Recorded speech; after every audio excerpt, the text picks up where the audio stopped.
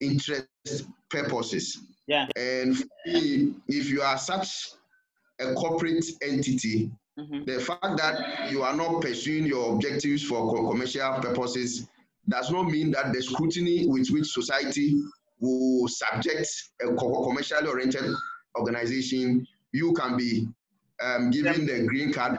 They will say that oh, you are, you are not, not for profit, so you can you can be allowed the the, the executive director or secretary can decide to pay himself huge fat of uh, maybe salary or use resources to the organization for personal purposes. Yeah. So I think those are my my, my two comments I, I, I would like to give.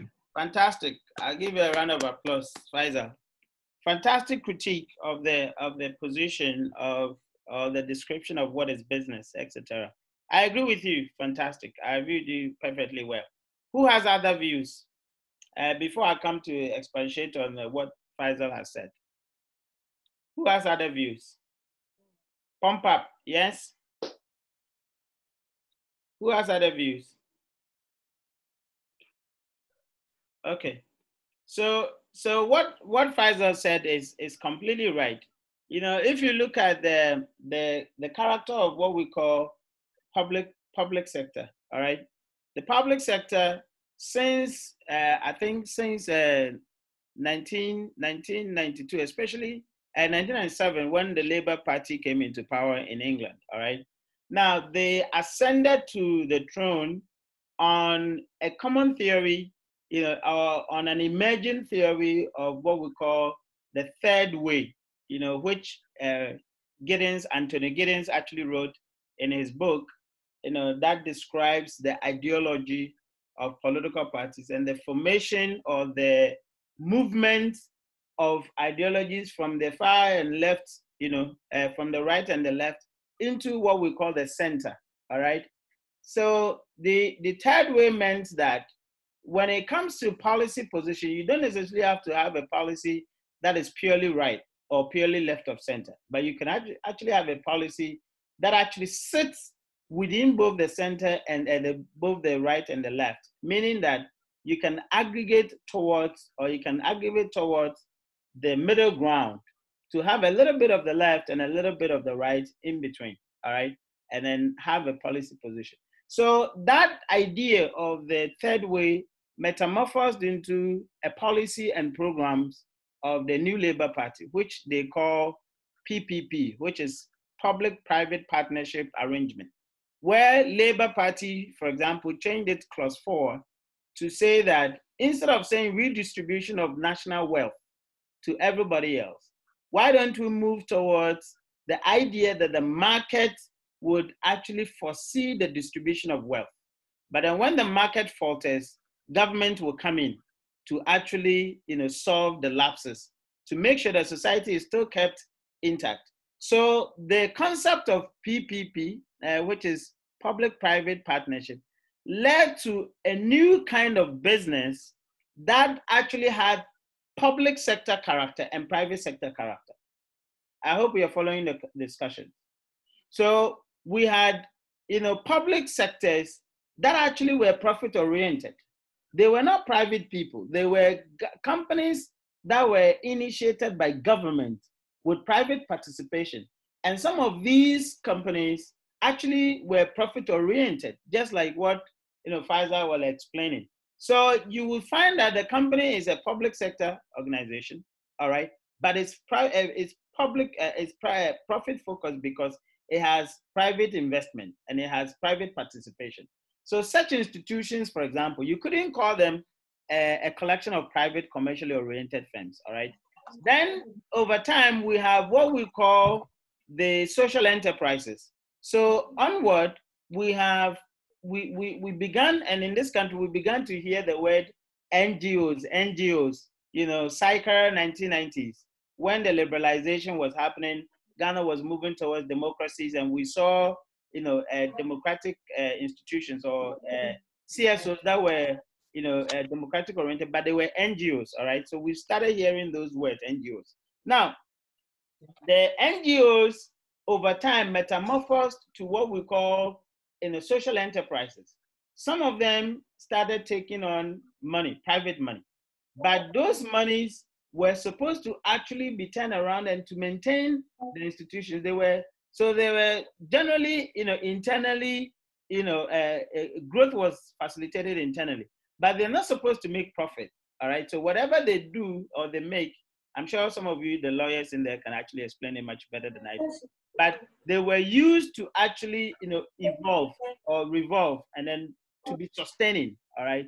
So we we started having businesses or institutions or you know uh, uh, structures that were called social enterprises.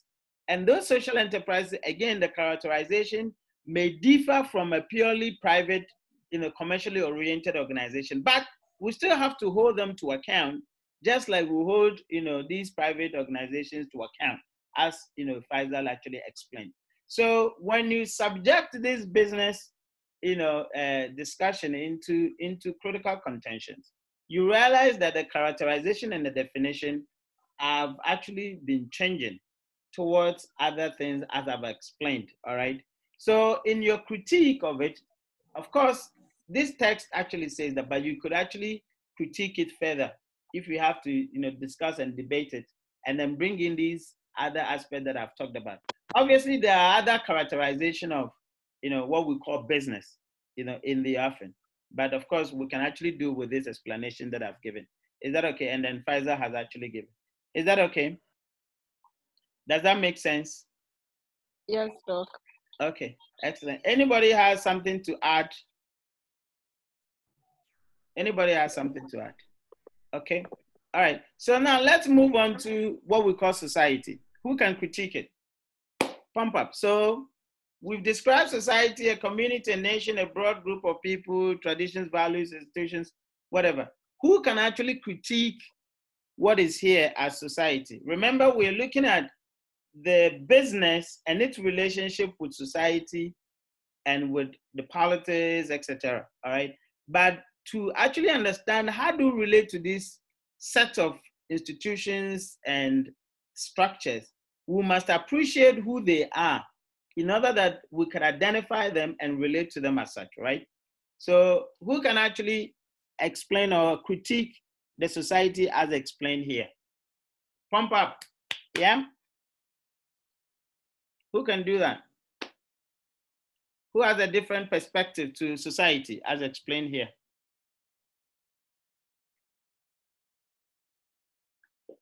Hello, guys. Linda. Yes, Doc. I think the definition there's can you, okay. Can you, can you, guys hear me? Can you guys hear me? Because Sandra, I want, yes, we can I want to gauge yes. that you can hear me because of the technicalities of the internet. Sometimes the thing is just tripped and you can't know that you can hear me or not. So Sandra, I want to have we can hear you. Okay, yeah. So yeah, who can critique the society here? Society is good to go. Mm-hmm.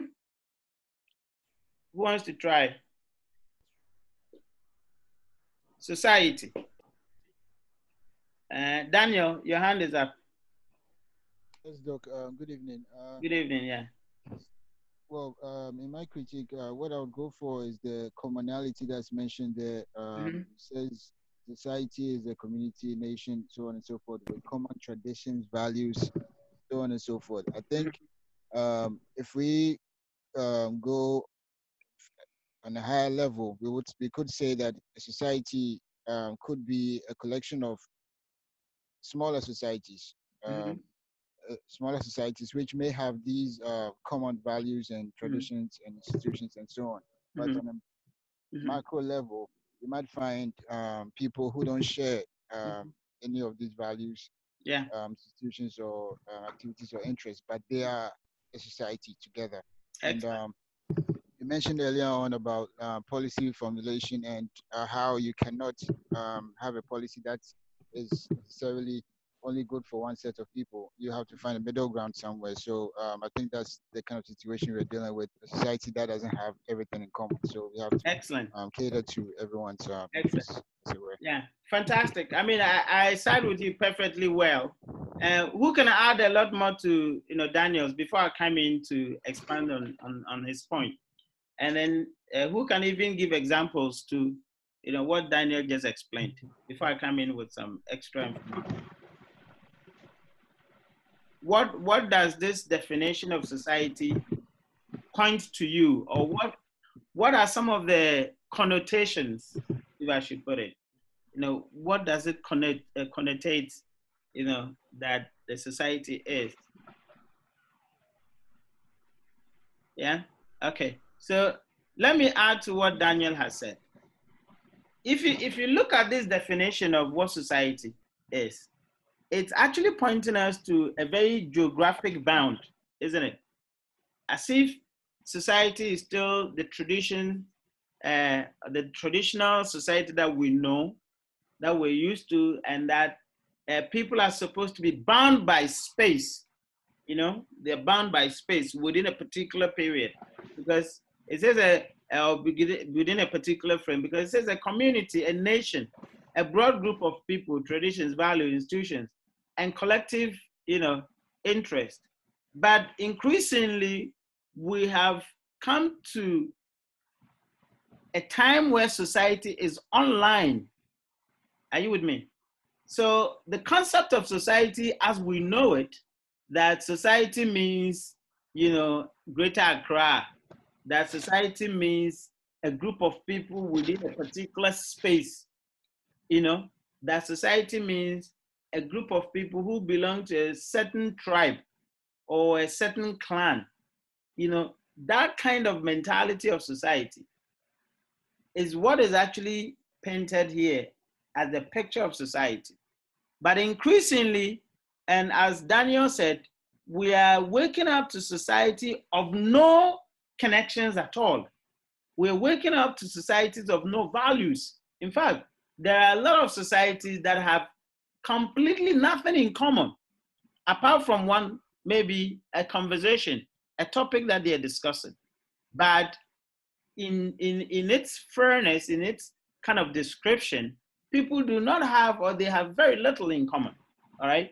And that is what we're actually waking up to. If you look at the netizens, or when you look at what we call internet communities, and I don't know how many of you have actually heard the word internet communities. How many of you have heard the word internet communities? All right. If you okay, let me see some some conversations here. It seems you are not recording. Yeah, okay, I'm recording now. Um okay, if you're not speaking, okay. And definition of perfect. Okay.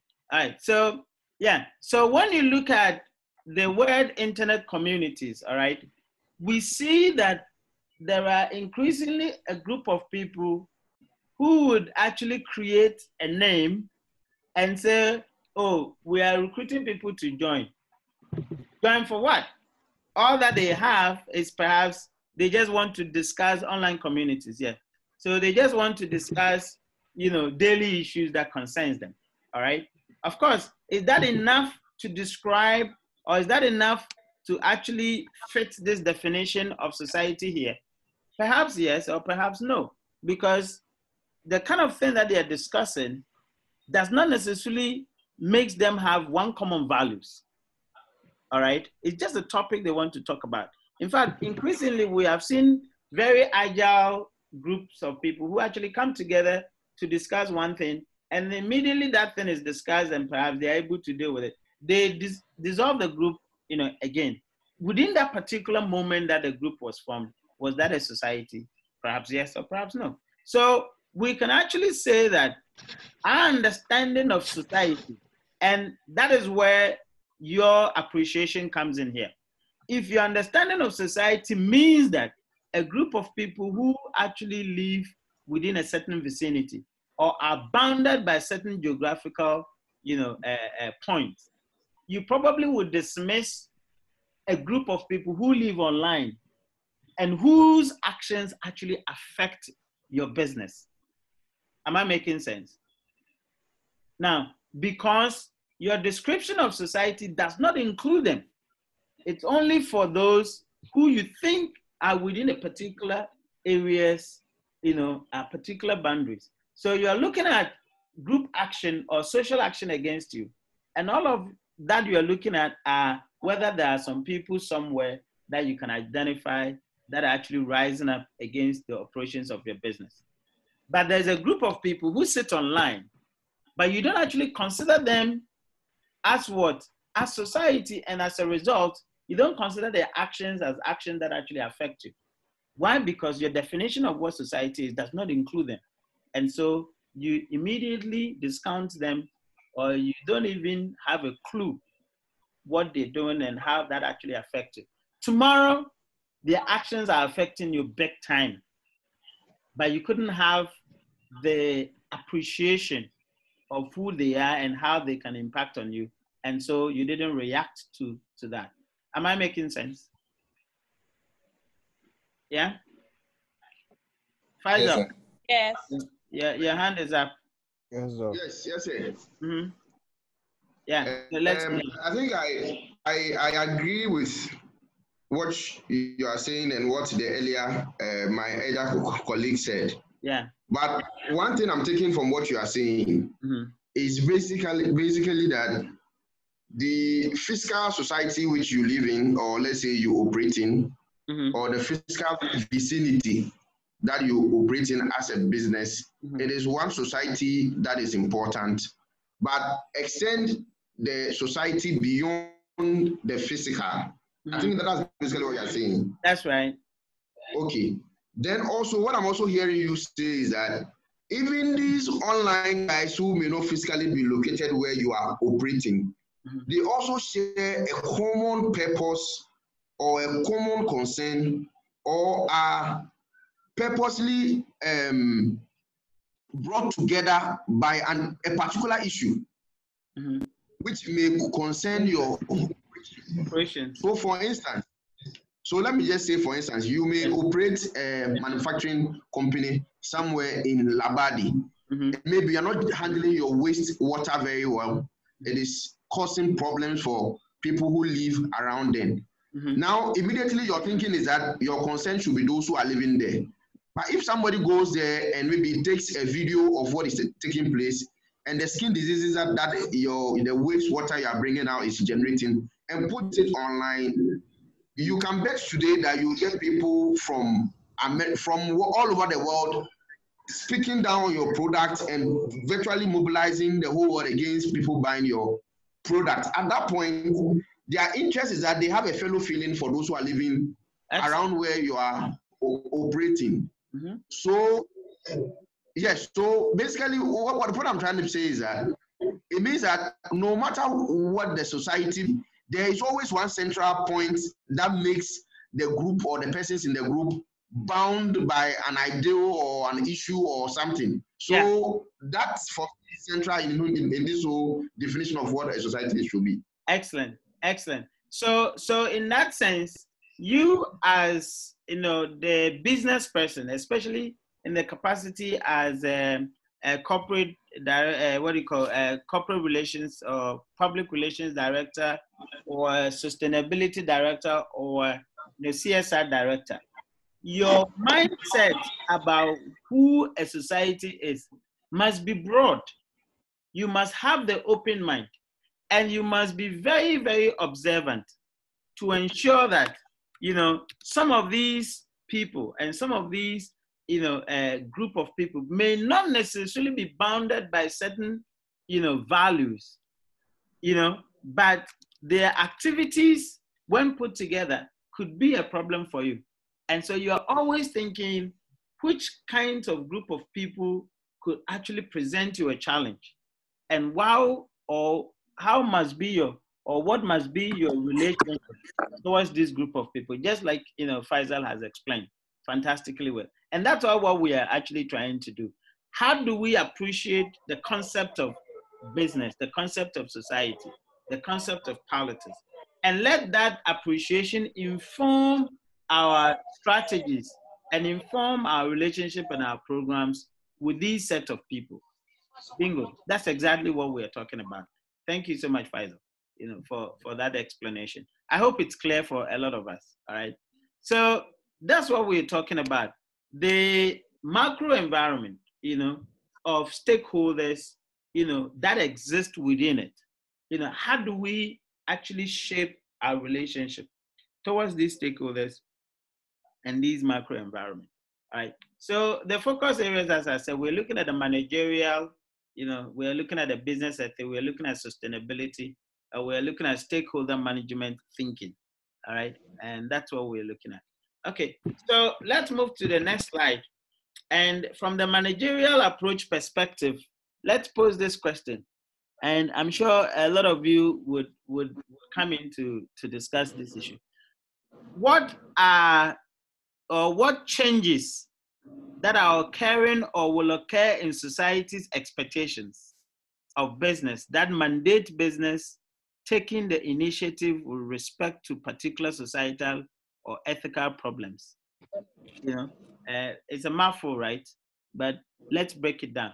So it says what changes are occurring or will occur in society's expectations of business.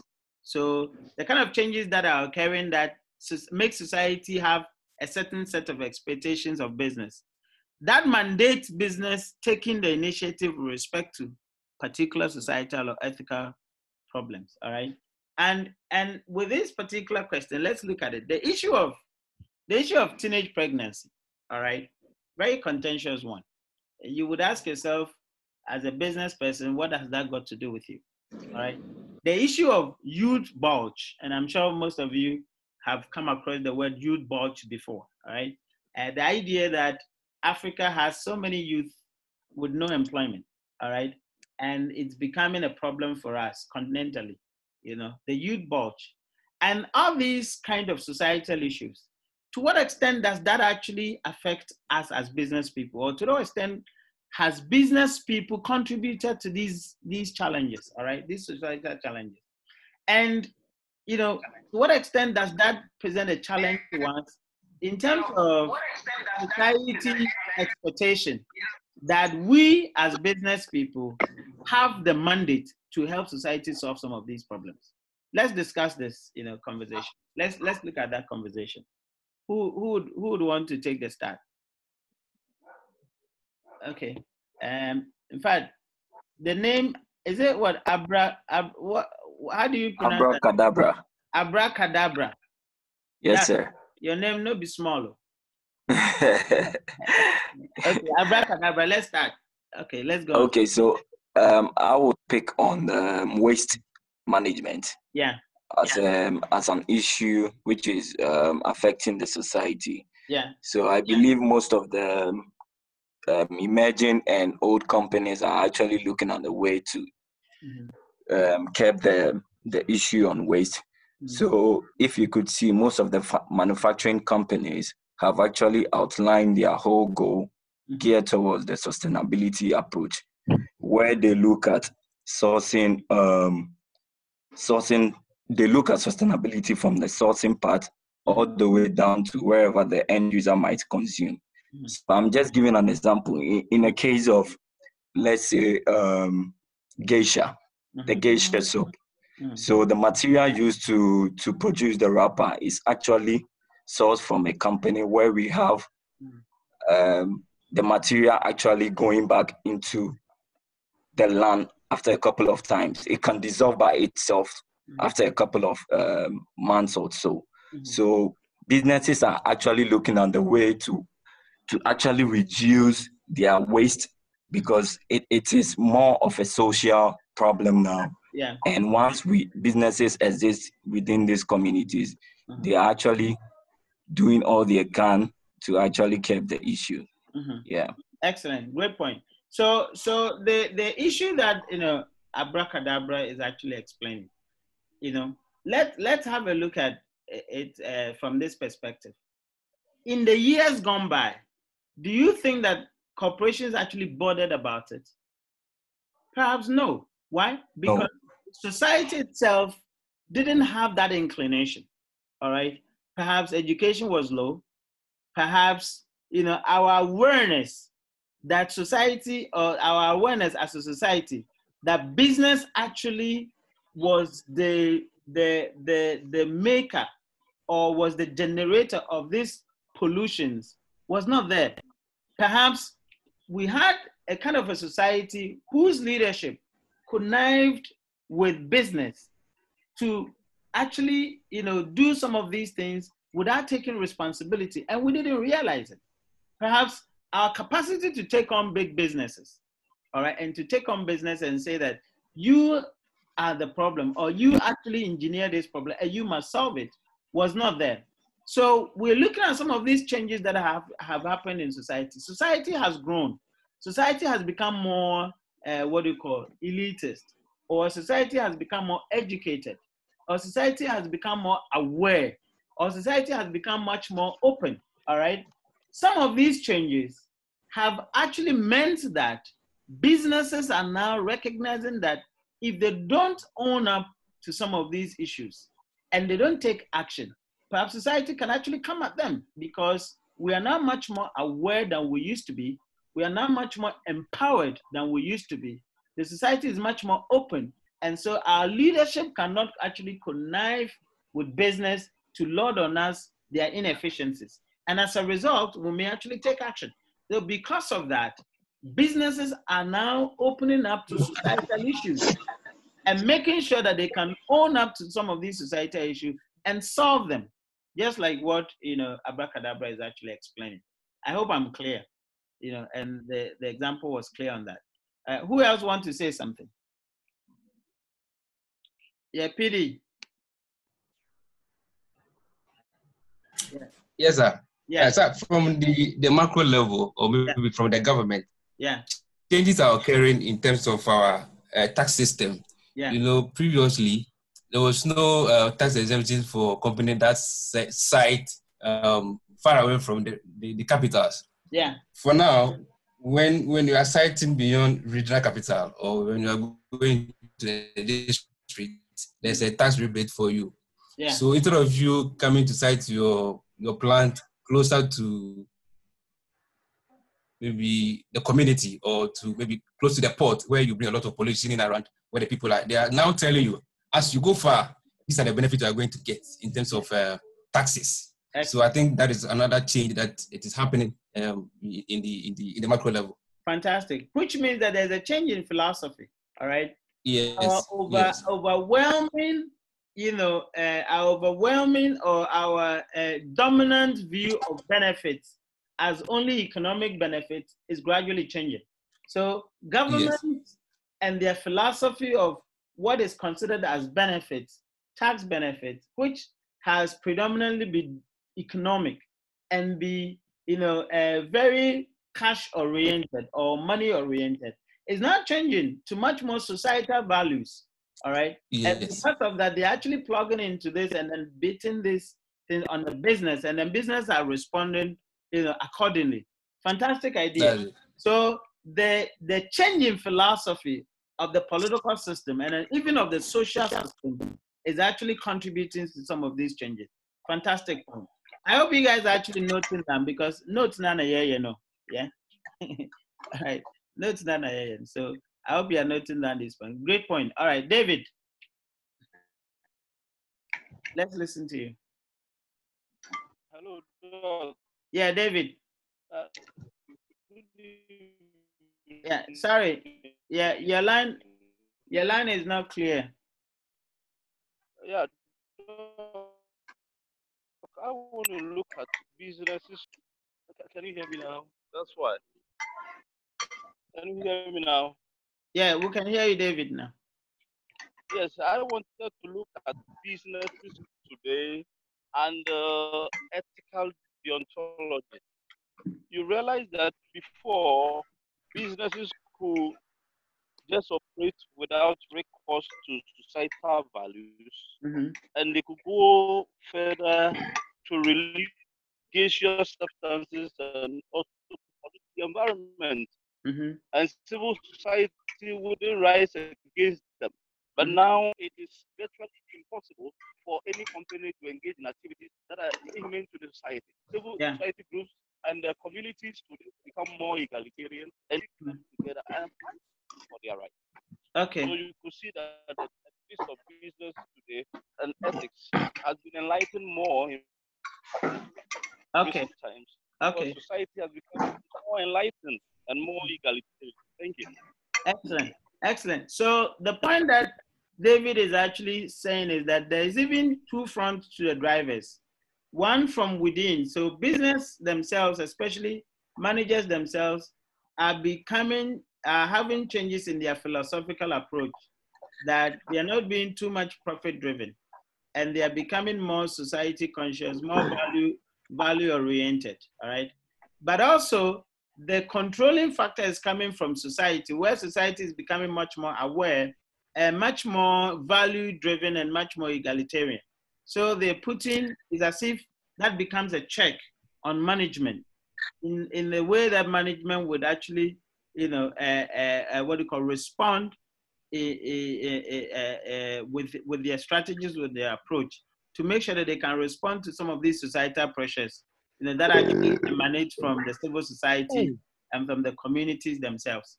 I think that's what the uh, uh, what do you call David just you know uh, drove at. All right, fantastic point. Yeah. Any any other person? Anybody? Nawaz, you want to say something? Okay. Uh, Linda. No, sir. Something. Yeah.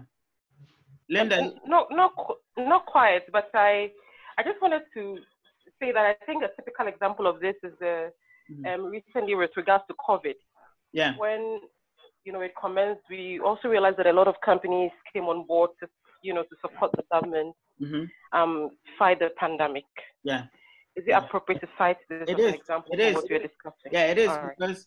now uh, business has realized that their contribution to society is not only taxes, all right, that they are not there just to make profit and pay taxes to to to government and say that they are good uh, uh, corporate citizens. Now, the idea of corporate citizenship has gone beyond tax paying, all right, even to include more CSR, you know, uh, uh, activities. So people are now fundamentally saying that yes, they may pay taxes, all right, government may misuse it, all right, but when society is under pressure, just like COVID, business has a lot more at stake. And in fact, it is to their benefit because at the end of the day, the people in the society are your own people. You recruit from there, you get management from there, you get your raw, your raw, uh, raw material resources from there, and then you sell to them as well. So increasingly, if people get confident, they can actually, you know, participate in the economic sectors of life. Suddenly, your business will collapse. You know, so Linda, you're right. The responses that we see from business towards this COVID is as a result of businesses, you know, looking at their mandate as beyond tax paying to include other things such as societal, you know, responses or responding to societal needs such as COVID in order that they can actually solve. But they also see it as a legitimacy issue, you see, because to be a legitimate business or for people to see that you're a legitimate organization, what part are you playing in society? You pay taxes, it may not be seen by everybody, but then you contribute to COVID and you get a publicity. And people will be proud that they are buying from companies that have legitimacy, you know, within the system. Are you with me? So that is uh, part of the, the, the, the, issue that we are discussing now. Uh, great point. All right. So let's look at the next question. Did business in general or firm in particular have a role in creating these problems? Yeah, let's discuss. The issues that we've talked about. Yeah. Yeah, you've lifted your hand. Thank you. Thank you, sir. Mm-hmm. Uh, MTN to Vodafone, Vodafone. Uh, yeah, please. Uh, Linda, Linda, who, who is making that? Oh, okay. okay. I've muted it. Uh, yeah. Thank you, sir. Yeah. Maybe um um um I, I want to play the devil's advocate. Yeah. I don't think businesses have changed. Yeah. I think it is also it's always profit driven. Mm-hmm. It's just that they've realized that society has gotten smarter. Mm-hmm. So they are wolves in sheepskins trying to change the way they are doing business to get as much as they want. I, I'm saying this because it became clear during COVID mm-hmm. that everybody was in it for profit. Mm-hmm. Let's forget all the nice ways we are talking about it. Mm-hmm. But yeah, I still think it is profit driven, not because they have a legitimacy to government or to they want tax, whatever. They want money. Yeah. And at the end of the day, they keep on creating these same problems because at the core, mm-hmm. I think businesses are in for themselves, not for society. Okay. This is what I'm thinking. Uh, I stand to be. No, no, no, you. no. You, you're right. I mean, uh, Samuel, you want to? I saw your hand up. Uh, before I add to Yao's point. Um, actually, what I was gonna say was mm-hmm. also kind of in line with what he's saying. Yeah. In businesses are usually they're trying to, you know, they're trying to position themselves. It's about positioning yeah. and branding and yeah. having the right image out there. Yeah. So if society is concerned about this particular matter, you have to show that you relate with society.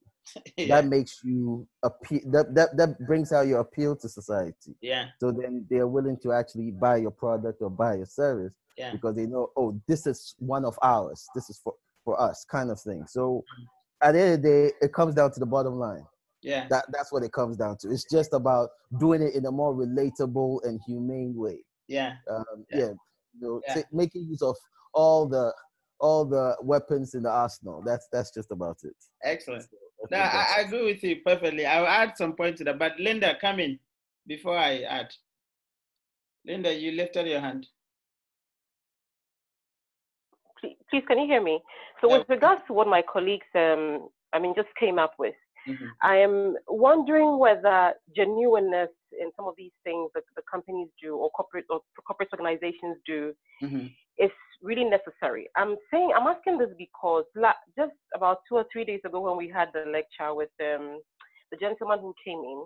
Yeah. I mean, in, yeah. in order to be able to push an agenda in the future, we were told that these are some of the things that you have to do. Yeah. So that if if the time comes for you to do these things, you have a track record of having supported society. Yeah. You know. Yeah. So in one way or the other, there's profit, but profits yeah. might not necessarily be monetary. so yeah. I am wondering if, um, yes, they might have an ulterior motive, but either way, it's still profit. You Excellent. know. Yeah. Is is that okay? Oh. No, it's a it's a good point. You see, uh, it's a very good point, and that's it's a chicken and egg uh, conversation that we are having right now. All right. For those right. for those who are from the philosophical position that the central point is profitability, they are not wrong. All right. And from those who are actually from the position that the central point is about legitimacy and it's about recognizing values, societal values, and making sure that as a business, you play your part. You're also not wrong. All right. Now, it all boils down to the dominant philosophy of the management. All right. What does the management really think? You know, there are some management who are from egalitarian perspective, and I think David David made that point uh, earlier. Was it David or uh, uh, uh made that point earlier about egalitarian thinking? You know, egalitarian means that you would actually want to think that society, everybody must benefit, everybody must have, you know, that that uh, connection to production, you know, of, of, of life. But the issue is that the management that is making that decision to contribute to the COVID, all right, what is the philosophical, what's the mindset behind it? Is it is it brand positioning as Samuel was actually talking about? Some of them, yes. This is a fantastic opportunity to brand position because the point is that we're in COVID. Nobody is looking at advertising, all right? So you pay so much money into advertising and nobody grabs your communication because we're in a very hard times, all right? And so your communication budget, if it's advertising driven, you're wasting money. So you have to move towards PR.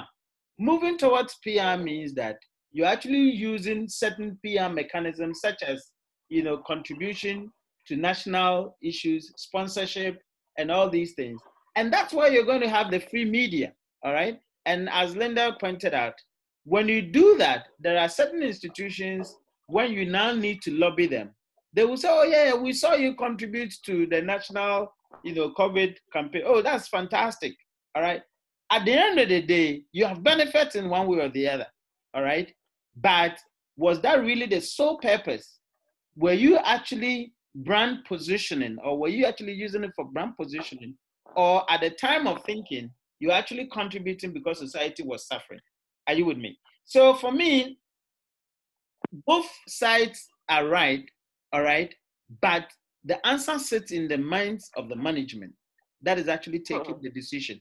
Whether the management is actually thinking profitability or business benefit, i.e., brand positioning, looking good in the eyes of the customer, or looking good in the eyes of the in the eyes of the government, so that you can perhaps make a case for tax waivers, etc., which are all the reasons why people actually contributing to, COVID. Or the management is actually driven by one thing, humanity. And as a result, they are making decisions. That none of us can tell. It would only reside in the in the minds of the management that is making that decision. Are you with me? Yeah. Yeah. Come in yeah. so, so, so, so, sir, so, sir, you, you, you, if it sits in the hands of management, mm-hmm. then that goes to say that all that they do is for profit. if you said it sits in the hands of the owners, yeah, in the minds of them. If you sit in the in the minds of someone like Bill Gates, who is now not looking for profits, but probably probably looking for relevance and legacy, which is his profit, he might decide to lose. Yeah, but he's still looking for profits. He's still looking for profits. Well, well, I, I, I, I'm coming from the purely commercial point. Yeah. There's no manager who will be losing money and still sit in that position as a as a manager or as supervisory board. Yeah. So, the existence of businesses nowadays. Situation where Jody, Jody, could you? Payment or the MTN. Who is actually? MTN is Jody. Linda, is, is it Jody? Jody, mom. Yeah, Jody, mom. Okay. Is it Judy or Judy, ma'am? Please mute your microphone. Okay. Yeah, yeah. Let's hear so, you. So, so, so, at the end of the day, if if I do understand that, listen, uh, let me give the example of my company. Yeah. My company is a very huge international company. Yeah. Which which has existed for a very long time. Yeah. They were so instrumental in World War II. Yeah. But as we speak, they are the biggest company in that industry. Yeah. Why? Because they've learned to change their gap uh, with with the with the system. When the system changes, they change. When the con- whoa, there's a lot of feedback. Yeah. Uh, Jody, man, please. Emmanuel, Emmanuel. Is it Emmanuel? Okay. Yeah. But so so so I, I see them shifting. Now yeah. they've realized that the, the European and American markets are choked and Africa is the new frontier, Asia is the new frontier. They yeah. come in bearing gifts. Yeah. But at the end of the day, they made one statement that says that we know how to live long. Yeah. They know how to sustain their business for a long time. Even from the war, yes, they have been adapting. But at the core of the day, when we have a virtual shareholders meeting tomorrow, they are going to talk about profits because the shareholders are going to demand for profits. Yeah. So that, so so that is my point. Yeah. Yeah, no, I agree with you, and that's why I was saying that you know, yeah, the point that you made uh, is like chicken and egg, you know, uh, between you and then the, you know, Linda, you know, in Linda and and the other guys' position about common humanity. So sometimes the issue is that is the chicken brings that brings the egg, or is the egg that brings the chicken? All right. Must do, do these businesses think humanity first and the other business objectives and the business goals actually follow, or they think about the business objectives as a way of achieving the humanity goals. I you with me?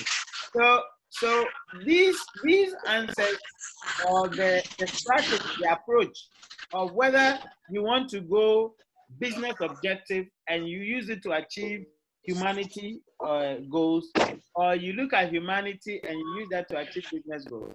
I think will sit very well with the management and their philosophy, you know, going forward. And just like you have actually described perfectly well, yeah. Some businesses actually will argue that we are not in for Father Christmas.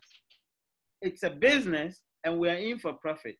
However, the, the, the, the, the issue of humanity and the humanity or humanitarian objective is as a consequence of our profitability because some businesses will tell you that until they make profit, they cannot do the human, humanity business. All right.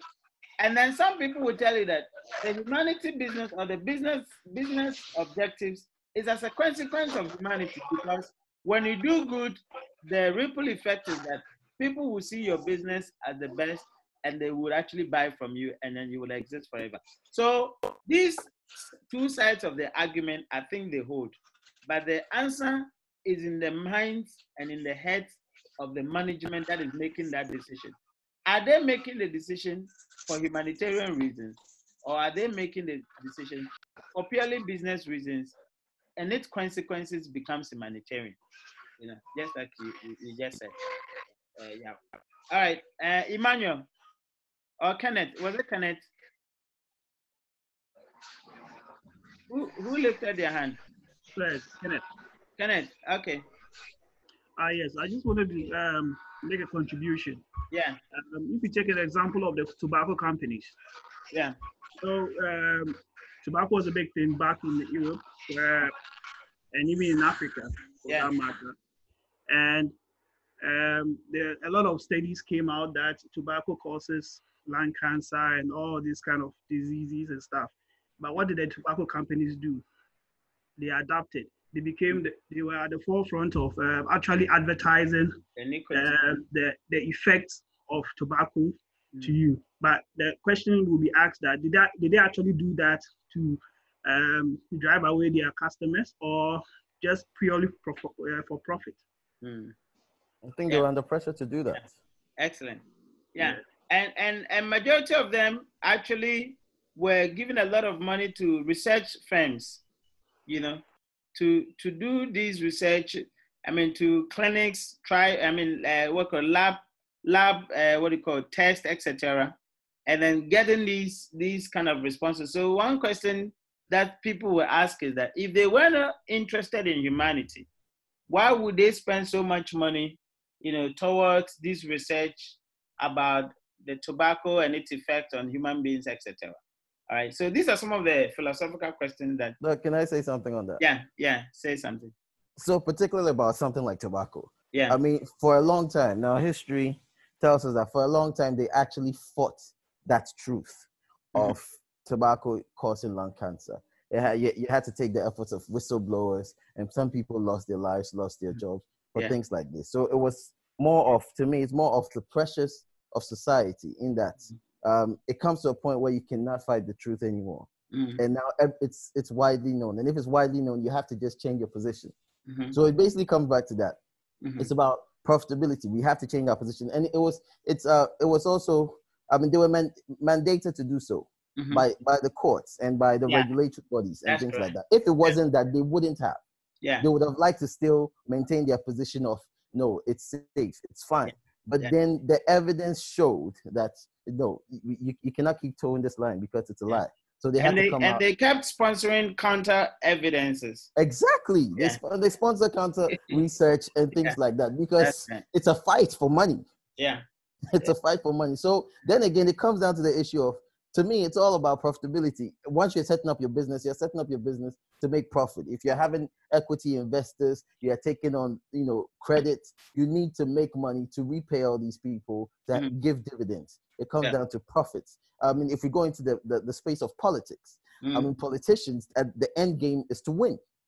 That's mm-hmm. the thing. The end game is to win. If there's a disaster somewhere, and then you you have to get on it quickly. Okay, I have to be there. I have to show my support. Mm. I have mm. to be there for the people. If you don't, and your opponent goes there early before you, you are losing. You lost the election. Exactly. So it's all about the end game is to win. Okay, excellent. All right, good debate. All right, thank you. Now let's look at the next question. Now, um, can we reduce broad social problems to a size that can be effectively addressed from a managerial point of view, i.e., can business really solve society's problems? Can we reduce broad social problems to a size that can be effectively addressed from a managerial point of view? Yes, we're debating. Who wants to start? Sir, can I? Yeah, you can. This is Yao. Yeah. Um, I, I have a, a, a simple uh, example. Mm-hmm. There's a company in Germany that used to uh, produce uh, a particular item. Mm-hmm. And it was so good that the item wasn't reaching its maturity uh, lifespan. It it just worked, mm-hmm. and that company went out of business. yeah, I'm saying this because businesses need to create problems that they would solve. Otherwise, they don't remain relevant. Mm-hmm. Yeah. If we have solved the problems in this world today and there are no new problems to solve, mm-hmm. businesses will collapse. Mm-hmm. That is why nowadays they keep on coming up with the rhetoric this is good, this is better than the previous years. But when you take an example of your Mercedes 1980 Mercedes mm-hmm. and you compare it to your 2020 Mercedes, your 2020 Mercedes has all the Bluetooth and all that gadgets, mm-hmm. and it has become a China, a China phone because it has so it does so many things and it creates so many problems that in two three years you have to buy another Mercedes so that Mercedes Benz or Daimler Chrysler will continue remaining in business. So I think businesses solve old problems and create new ones that are unseen mm-hmm. so that they can solve them and continue remaining relevant. Relevant. Okay, great point. Now let me read a point from David. I'm sure uh, David says that some two big companies refused to support a guy, you know, uh, that had a, a kidney transfer issues. Now, for a very short period of time, they saw this company donating to COVID 19. so, so, so the point is that is the business ah. and its societal issue humanity or for profit? You see? So they are seen contributing to COVID 19, but they were contacted you know, to actually help somebody with a transplant, and they refused. These are some of the typical examples. And by the way, so some of the things that discussions that we're having. All right. So what yeah yeah, yeah was actually explaining, and and and the point is that. Oh, can I come in? Yeah, I win. Yes, you can come in. Yes. So I, I sincerely think there is no business that exists um, in present moment without solving a social problem. Mm-hmm. I think every single business that you find around um, is created to solve a societal problem. Mm-hmm. Um, people need to eat, right? So um, it's a social problem when there's hunger. Mm-hmm. Most entrepreneurs will find a solution to that. People need to move around. Mm-hmm. There's Uber to make it easy and affordable to do that. Yeah. As much as the the, the business contract con, construct mm-hmm. is in favor of profit making, it is actually uh, survive the sustainability of a business is dependent on how close is it to solving the current needs of humanity. Mm-hmm. I don't believe that businesses are created um, to, to, to, to create problems to solve them. Mm-hmm. I believe businesses are always created by entrepreneurs who cannot withstand just watching these problems exist. Mm-hmm. But the way they will sustain the business operation is to constantly make profit, which is the way that they will sustain. It's not, I, don't think profit, I, I always believe that profit is number two. Yeah. Solving the problem is number one. Yeah, okay. Great point. You see, the reason I'm, I'm smiling is that right here in this class, we see two managerial styles and managerial philosophies, right? So immediately you can tell that a group of managers and the, their actions and their managerial style, and another group of managers emerging and their actions and managerial. So you can clearly see from this this class, and that's exactly what pertains out there. Of course, in the businesses that you guys work in, you can even tell much more than I do about the philosophy of your management. And some of you, you are part of the management anyway. So you can tell the philosophy that you actually have, etc. Nawaz, you two come in. Do can I come? Yeah, yeah. Let Nawaz come then. Yakubu, you will come follow. You follow. All right. Uh, Nawaz, we are listening to you. Nawaz, are you hearing us? Okay, Yakubu, you can come in when uh, he comes in. Okay, Doc. Mm. Okay, I'm coming from the food industry. Yeah. Uh, organizations supposed to be solving problems, mm-hmm. but one way or the other, they are creating problems and making more profit. Okay. In the rice business, rice industry. Mm. Initially, when rice was not refined or polished, mm-hmm. the shelf life of the rice grain was very short. Yeah. So they start processing it mm-hmm. by way of extending the shelf life. Mm-hmm.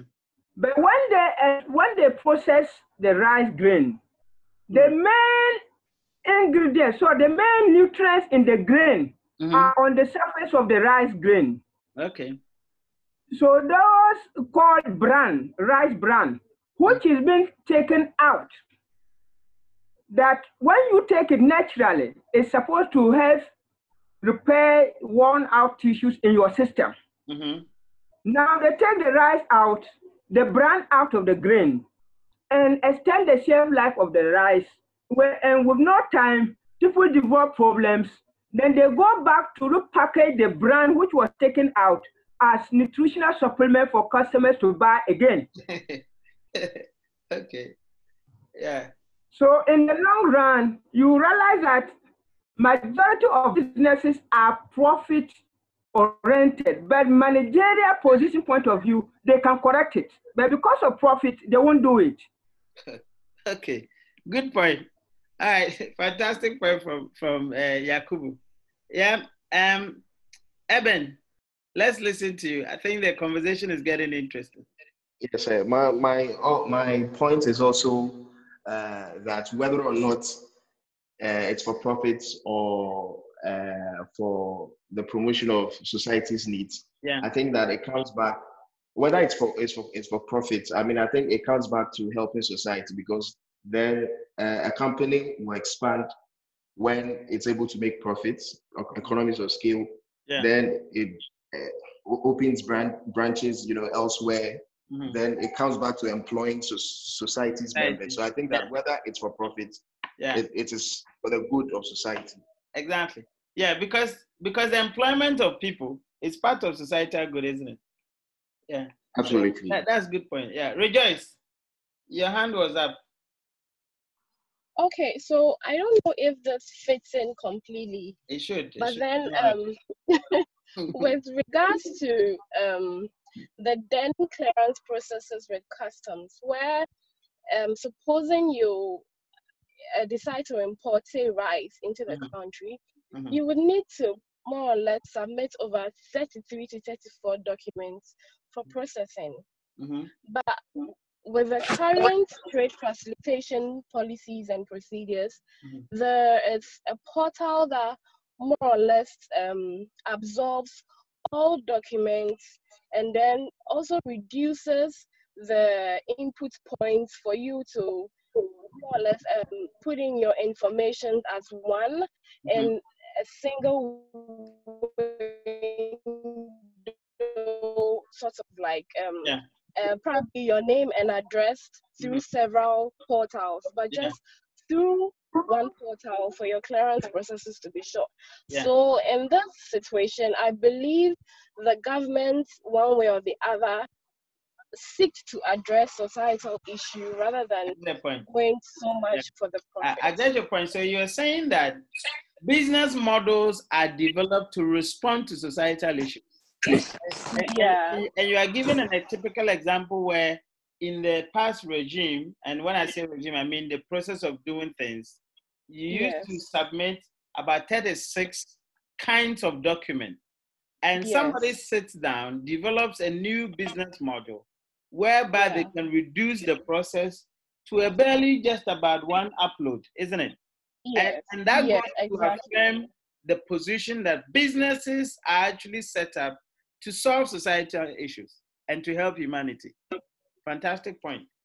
You know, fantastic point. But of course, they would have to be paid for their for their effort, isn't it? They they, they have to actually be paid for it. Fantastic point.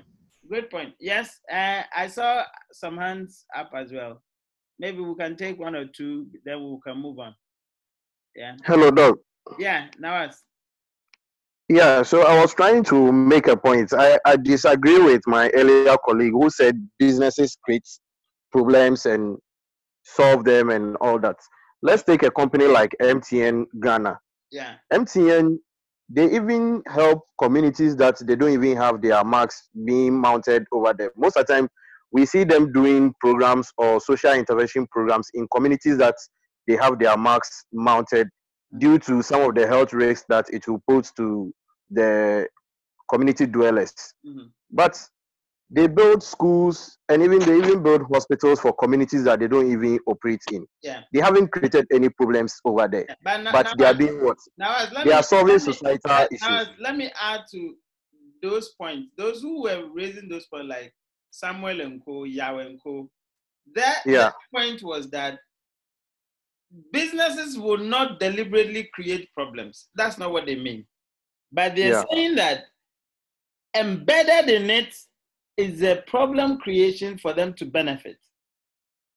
That's their position. So their position is that it is not necessarily that businesses are deliberately going out to create problems for them to actually benefit, but they're saying that the art of business and the art of opportunity finding in itself is a problem creation process. In order that okay. out of your your model to solve it, the benefits in return. So the focus is now on profitability as opposed to on humanity. They, they, they, don't, they, don't, they are not actually saying that they go out there and create problems for everybody, but they are saying that sure. the idea, the philosophy of solving societal problem, it is not the key focus of business, but rather profitability as a topmost consideration for solving the problem. Are you with me? And I think okay. I think yeah, I think I've represented you guys your view very well, right? That's what they, they meant. Okay. Thank you. That's okay. All right. So guys, let's let's move on uh, with other questions. All right. So um the next question says that what are the specific problems, alternatives for solving these problems and implications for management approach to dealing with social issues? All right. And, and, and with this, people have come across to say that social issues can only be solved by economic solutions. All right. And uh, we're actually answering these questions. You know, these problems that we are we're actually raising, all right, cannot can they only be solved by economic solutions? And people refer to America, all right.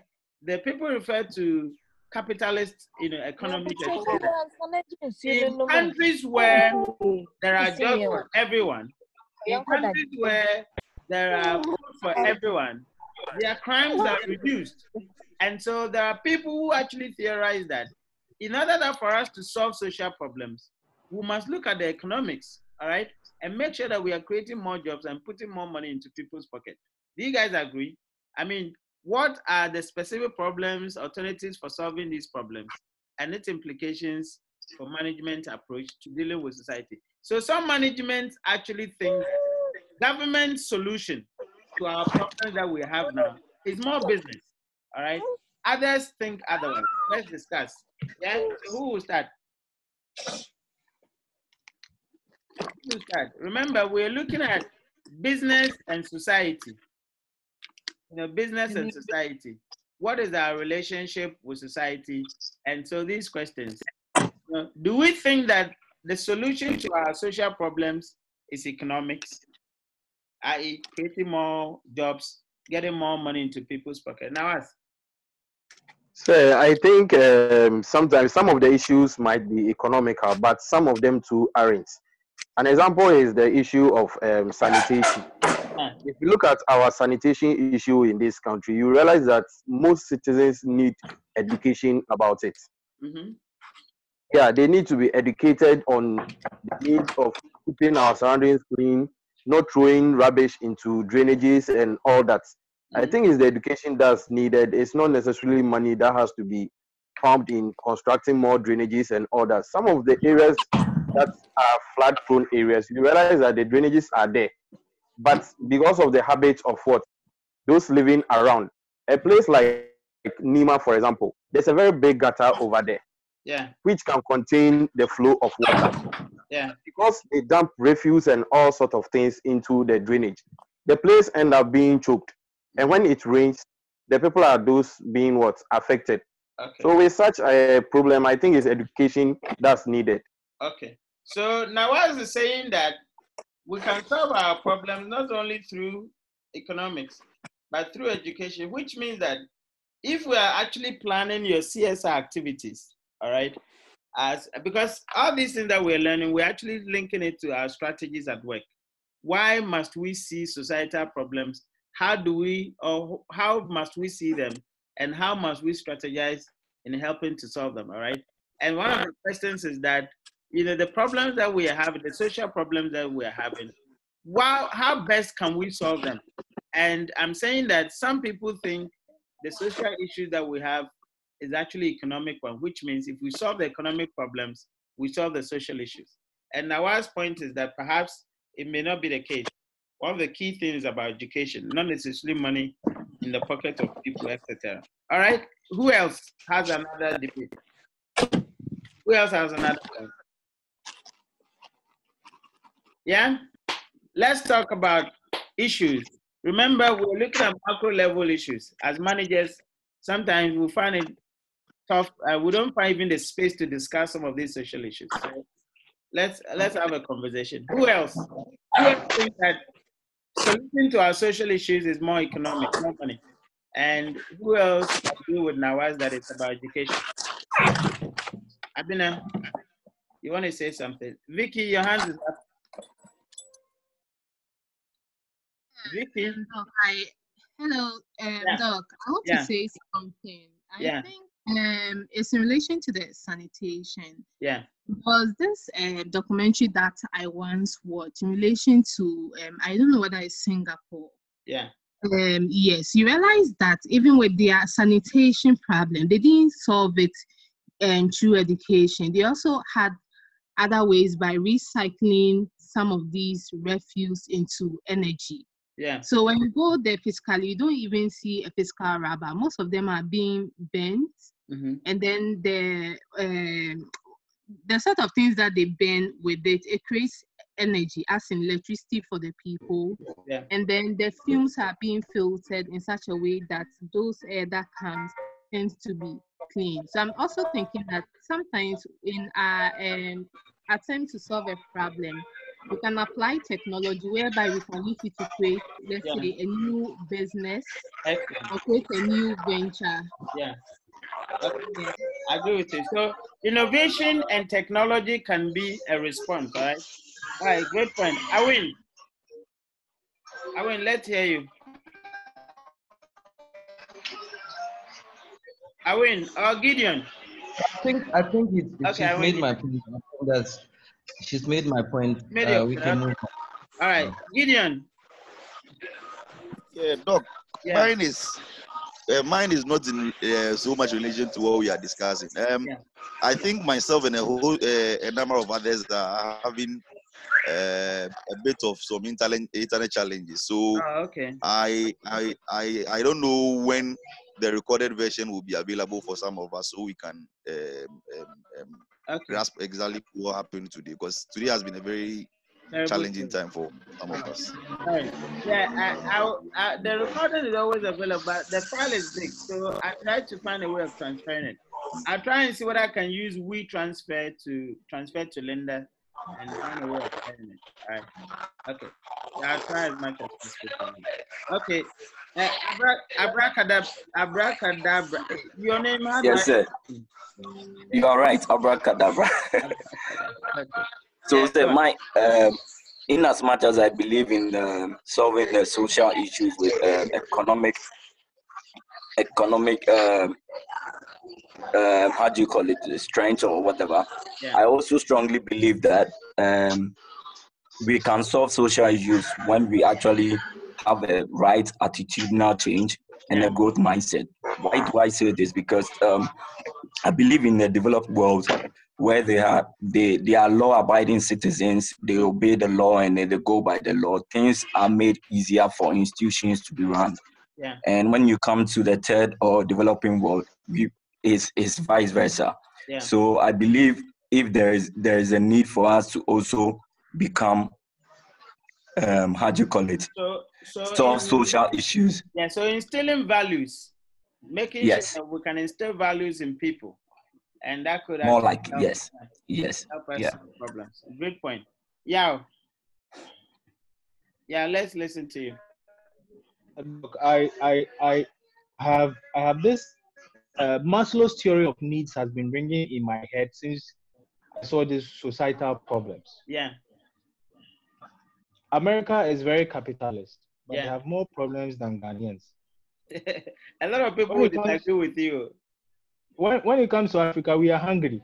So we are the basic basic needs. Basic needs I, I think I think businesses have record have realized that humans like women would never be satisfied. Hey, this is controversial. hey, yo, yo, Mesa. Please wait. I, that was a joke. Yeah, I, I, beg. myself from this. What are you talking about? I beg you. I'm just joking. I'm just joking. In which context are you talking about?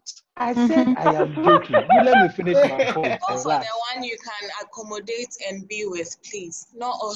Oh, see, hey, oh, Hey, yo. Hey, the conversation uh, is about to change to something else. Calm down, calm down. No, please let me finish. Women can never be satisfied. Yeah, it's good to know that the class is it's good to know the class is active. Okay. Yeah, yeah, so, yeah. yeah, yeah. according to Maslow's theory of needs, yeah. the moment we satisfy one level of need, we go to the next. Yeah. And businesses have realized. And therefore, society we've tried so many ways to solve business problems. We've even gone to do communists. We've gone to do uh, dictatorials. We've gone to do democracy. We've done a lot of things to solve the problem of human need. Yeah. But I think businesses have realized that no matter what you do, there will be a new need. Mm. And therefore, we, we they adapt. So yeah. it has become like COVID. It, it is with us. So we just manage the situation and make as much profit as we, we can okay. and move forward. Okay. So your point you're making is that the the problems of society, we have a lot of models. We've tried a lot of models. There's nothing that we can actually get stranglehold of. So we just have to live with it and move forward. All right. So that's the point that Yao have said that. Okay. Now, Daniel. Daniel. Um, hello. Yes, mm-hmm. uh, yeah. I'm thinking um, advocacy uh, could be one of the ways to uh, deal with social issues from the uh, business point of view. Um, if a problem is identified and say the business uh, the business organization sees that it's not a problem they can solve by themselves. Maybe they will need um, government um, assistance in terms of uh, formulation of policy or something. Mm-hmm. Uh, they can advocate mm-hmm. for uh, government to take action in terms of instituting a policy okay. that would help to solve the problem. Okay. This kind of advocacy may not be um, in the public um, eye uh, because of maybe uh, sometimes the victim mentality that yeah. the public might have if they yeah. uh, understand what the uh, okay. organization. Now, fantastic perspective. So, Daniel, what you're saying is that business could use its influence to champion advocacy or to actually, you know, uh, uh, uh help solve you know societal problem through advocacy, because obviously business could have influence on government and therefore can influence policy. Business could have influence on society and therefore can influence societal behavior I think that's a fantastic perspective. So it is not only about money, uh, and it is, it is not only about uh, uh, social and education, but it's also to what extent does business be, brings its its muscle in order that they can push advocacy to solve societal problem. Fantastic. I think that's a good point as well. All right, Samuel. So I actually think it's a combination of different components. I mean, yeah. the economics, the advocacy, the social interventions. It's a combination of all of that because if you're looking at societal problems, the problems there there are a lot and they are in layers. Mm-hmm. There are some things that enabling institutions to enforce certain laws will solve. Mm-hmm. And it, may not solve it all the way, it may solve it to a certain extent mm-hmm. that you need certain um, business solutions to come in to mm-hmm. complete. So mm-hmm. then that over there you have the economics um, aspect of it. So in a society, um, a lot of things are not so straightforward. You have different factors and different dynamics. You have different components to make the whole part, Mhm. and I think that's what it is. You can't just have a a, um, a one side of it. It will be a component of things. Excellent. Guys, you are having your business solutions right from here, right from this class. you know. So the point the point we are making is that uh, business and society, you are sitting in the at the round of the table with your bosses, and they're actually saying, guys, we are confronted with social issues. How do we actually address them? Then the ideas are coming in from all corners, and they are looking at the CSR, the boss of the CSR, and saying, eh, do we do we actually go here? Do we have and that's exactly the answers that we are providing here. That perspectives that business could use in solving social issues can be diverse. The issues can be diverse. And if you look at it from one, you know, picture as as Yao was talking about, which you know Samuel has actually emphasized. Look, business or society has tried so many modules, so many modules. Some say capitalism will work. Some say no, it wouldn't. Those days, some say uh, communism was the way forward. We didn't. We're not successful. Some said so- socialization, uh, uh, socialism. Some say big government. We tried all these. It didn't work, and we are still getting through it. And that's what Samuel is saying. We could have so many perspectives, but I think that the best way to approach it is have a comprehensive view. But don't forget, Samuel, resources are not infinite. I mean, business resources are very finite. So the comprehensiveness of the approach would also depend on the budgets that business Yes. has to execute its mandate. And remember, Mandate. business actually works on objectives and they are time bound. All right. And don't Mhm. forget the influences of you know uh, shareholders or stakeholders is also at play. So in in in as much as we want to be so comprehensive enough in our approach, we still have to be guided by resources and resource constraint and time. That's why there will always be problems Mhm. because they won't be totally taken care of. So there will always be problems that will have to be dealt with. Exactly. Great point. All right, Charlie, I've enjoyed this class. All right, let's move to the next point. So we're saying that the the urgent versus enduring issues, we have to be mindful as businesses that the society's issues that we actually confront may be under this continuum. There are some that are urgent, there are some that are enduring issues. All right. Uh, urgent means that the issues may be short term, they need immediate attention. There are some issues too that are persistent, they've been with us for God knows how long. Issues such as unemployment, all right, they have been with us from Adam. And as President Kufuor said, corruption is like you know prostitution. It's been with us from Adam. All right. Now, some of these issues, you know, some of these issues, they they they will be with us for for so long. So if we have to actually think about committing business resources to solving them, we may be wrong because we can't solve them. All right. So in our identification of the social issues and our attempt to solve them, we must actually group them into these continuum. What are the short-term urgent issues that we probably can marshal business resources to solving them? And what are the long enduring ones that we probably have to be managing them throughout the lifespan of the business? And making sure that we actually can coexist with the society without being actually say that we are very bad corporate citizens and we have abandoned these things. We have to have the fine balance between them. Those urgent ones that we can actually deal with and those, you know, long enduring ones that we must actually manage, you know, from that perspective. Anybody want to say something about this or we can move on? Yeah? Any anybody wants to say something about this? Okay. Now, let's look at business ethics. All right. Uh, another topical issue when it comes to our relationship with society. You see, the when it comes to ethics and the idea of ethics actually is not something that is binding. And I'm sure those of you who are lawyers, I mean, you can explain some of these theories much better than I do. But we're saying that ethics refers to issues of right, wrong, fairness, and justice. And that's exactly the problem, all right? What is fair? What is right? What is wrong? And what is justice actually has a very wide parameters because they are very contextual, isn't it? They depend very much in on the context of where we were born, where how we were raised, you know, the kind of conversation we've been up to, the kind of views, exposures that we've been we've been up to.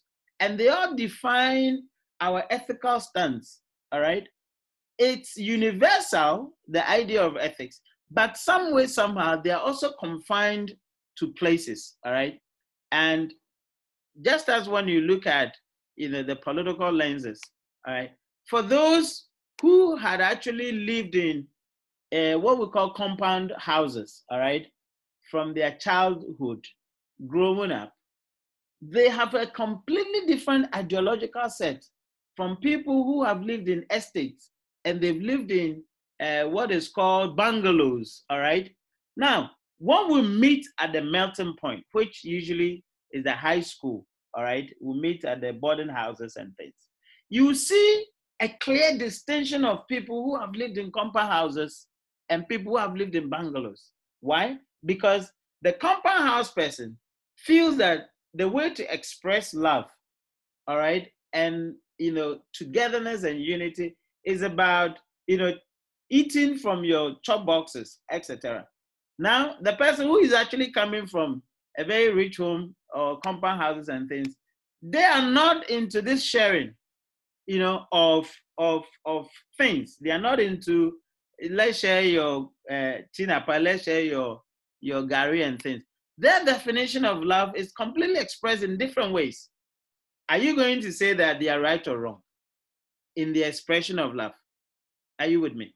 So we find that ethics issue very, very, very confounded and very difficult to grapple with, especially from business perspectives where people have moved from all walks of life into one business environment their ethical stance and their ethical predispositions are completely different. So, how do you then make sure that ethics become the guiding principle of your decisions and of your actions? So, somebody calls in sick, all right, or somebody calls in and say, "Oh, my my uh, my next door neighbor is not well, and because of that, I can't come to work." Or my uncle is not well, and because of that, and this manager who is coming from a society that some of these doesn't exist, he said, How dare you tell me that your next door neighbor is not well? How does that actually influence your decision to come to work or not? If you don't come, I will sack you. And then somebody saying, Ah, this guy is so mean. Hey, papa. You, you, you understand the point I'm making? So it becomes so difficult in navigating these, you know, some of these issues within the business society kind of discussions. Who has a contribution to make or a question to ask on this? We're discussing the word business ethics, and that refers to right or wrong, fairness and justice, and how that govern our decision making, you know, and our interrelationship within the business society context, as we're talking about. Who wants to add that? Doc, can I come in? You can come in, Romeo. Okay, this is Yakubu. Oh, Yakubu, sorry. Okay. Okay, on the corruption aspect that you mentioned. Yeah. Like Hello, in the compound yeah. houses. Oh. Yeah, in the compound yeah, houses. Remy, sorry. Yakubu, sorry, just a minute. Remy. Okay. Yeah, Doc. Yeah. I want to ask a question. Okay, let Yakubu Hello. Finish. Yeah, let Yakubu finish and then we'll come to oh, you. Yeah. All right. Yeah, Yakubu. Okay, what okay, okay, yeah, thank you. Yeah. The point I'm driving at is mm-hmm. in the compound houses long, long ago. Yeah. Concerning corruption, when you send a child, mm-hmm. there was no point tipping the child or giving something to the child. Mm-hmm. But along the line, mm-hmm. people started giving tips to, if I send you to do something for me, I'll give you a tip. Yeah. Then right away from that point, in the mind of the child, yeah, But when you send, when someone send you, he or she is supposed to give you something in return. Yeah. And so as time goes on, mm-hmm. it develops into the minds of our people, mm-hmm. and then corruption starts from that point. So quid pro quo. Mm-hmm. Okay, so Yakubu, what you're saying is that at some point we left that value, or there was a there was a transformation of that value within the uh, the the social setting, where sending that did not necessarily mean I have to tip you, and immediately we started introducing tips into that society. Corruption started. That's the point you made, right? Okay. Yes, sir. Excellent. Abina, let's listen to you. Okay, Doc, I would like to make a contribution. Yeah. Um, oh, Doc. Yeah, Romeo, uh, sorry. Let but, um, with ethics. Yeah. Okay. So um, with ethics, I think it's got to do with the society one finds him or herself in. Um, let's look at the um, foreign countries as yeah. in outside um, the, um, Africa, the Europe, and then the America. Yeah. It is ethically right mm-hmm. for a customer to tip um, a service rendering of it. Let's say you go to the restaurant after eating or something. It is yeah. so right to tip um, whoever that served you. Mm-hmm. But let's bring it down here. Mm-hmm. We see it as so far as have paid for the service. There's nothing you you have no right to demand for tip or something. Yeah.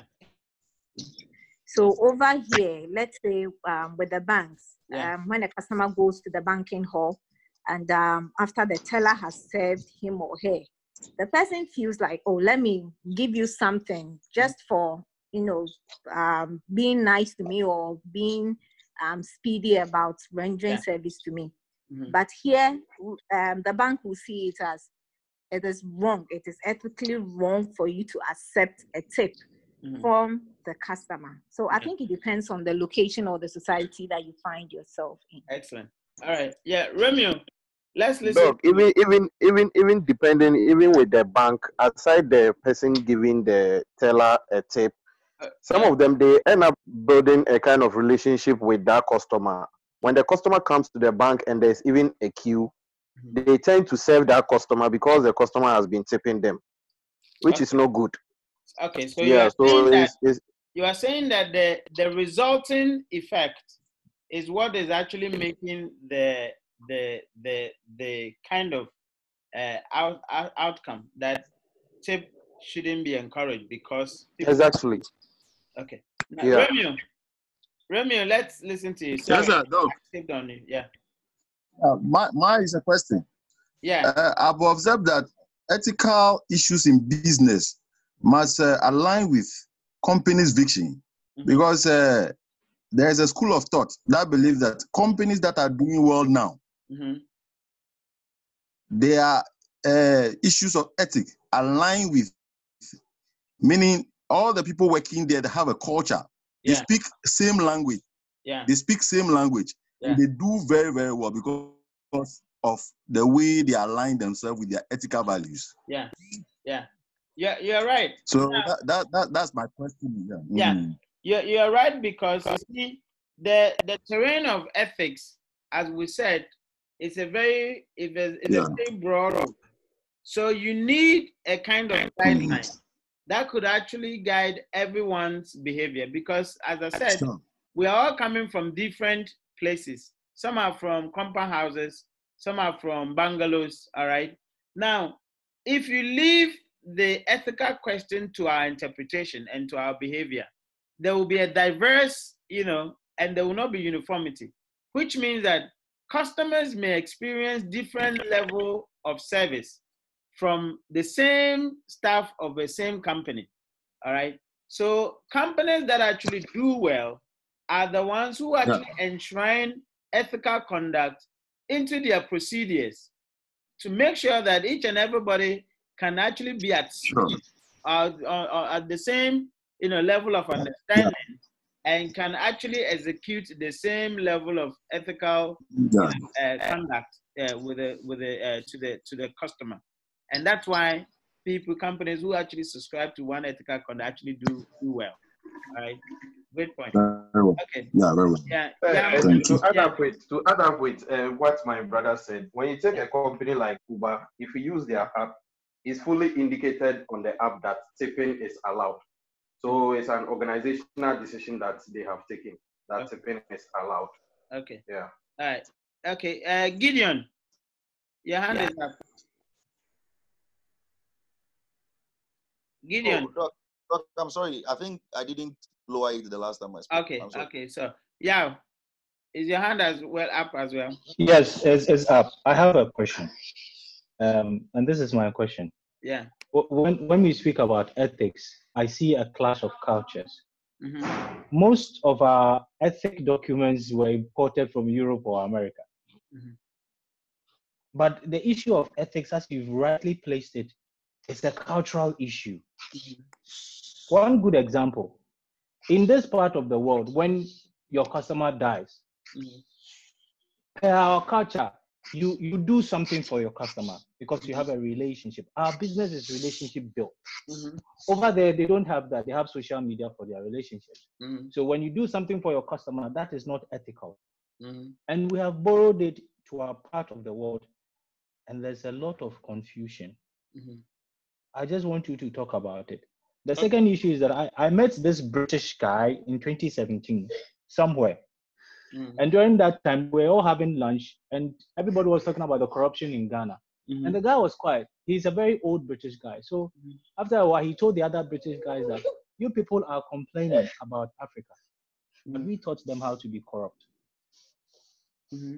We taught them how to be corrupt because per their culture, they didn't know anything like corruption.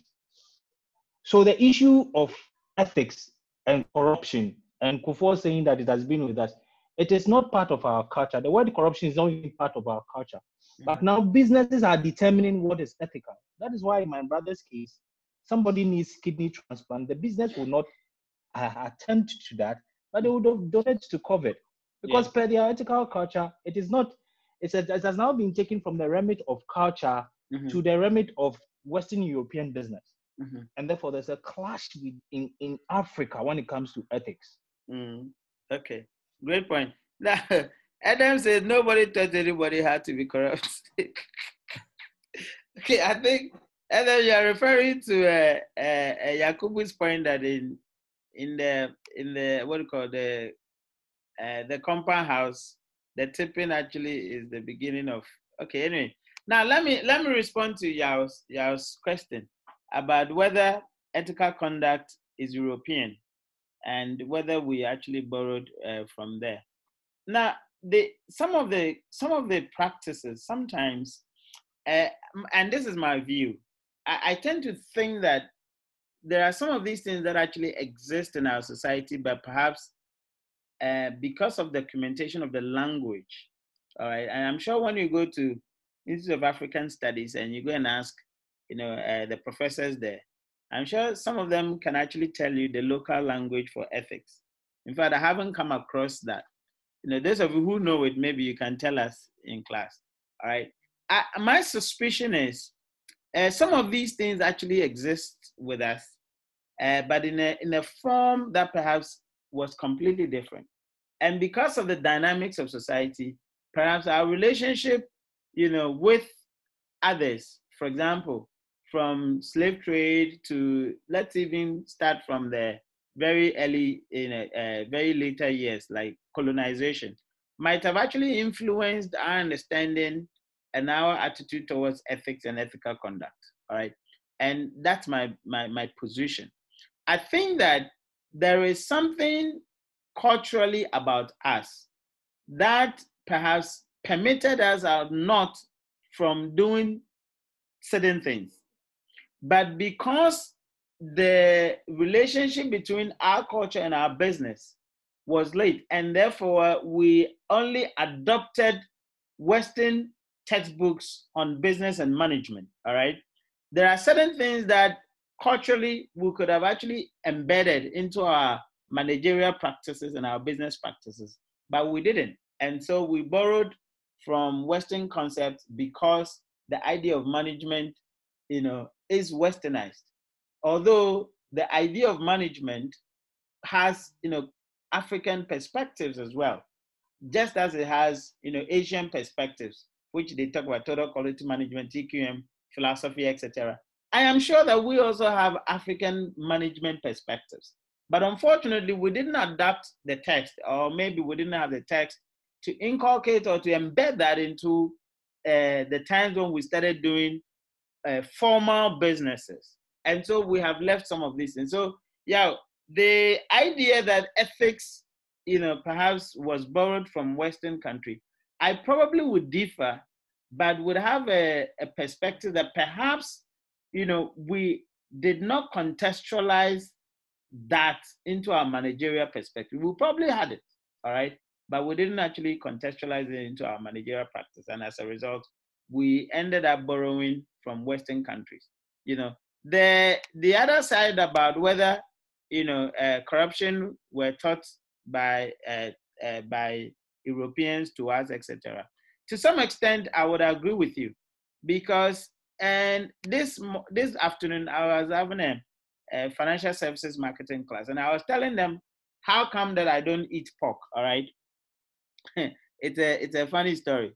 All right, and I'm sure some of you don't eat pork, not from any other perspective. But my not eating pork and my attitude towards pork, all right, and pork products, it's actually purely a cultural one. All right, it's purely a cultural one. Why? Because growing up, I'm the ninth born on my dad and uh, my my mom's side, and the tenth born on my dad's side.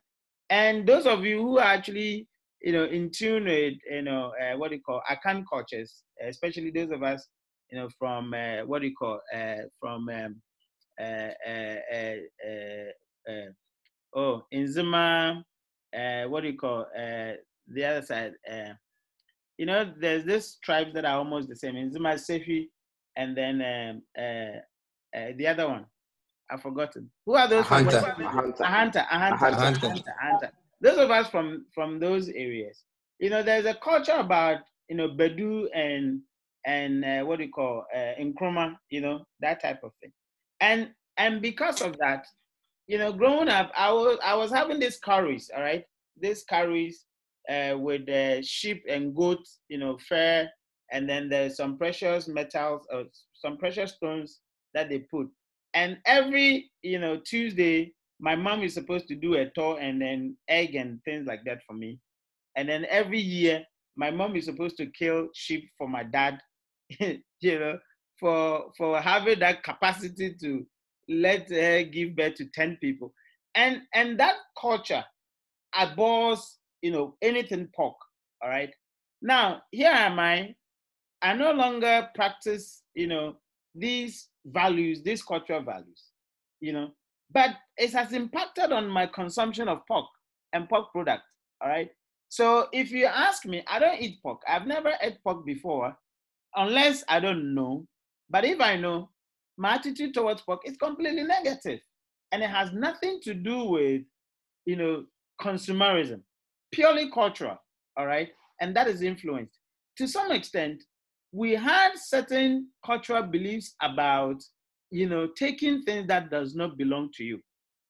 In fact, homes were open, people's homes could be open, and you can't enter, all right? Because there's a belief that if you enter, something wrong could happen to you. You know, in those days, there's no way you can sleep with somebody's wife or somebody's husband. You know the consequences, all right? Whether it happened or not, we we believed it. Do you get it? And it became part of us.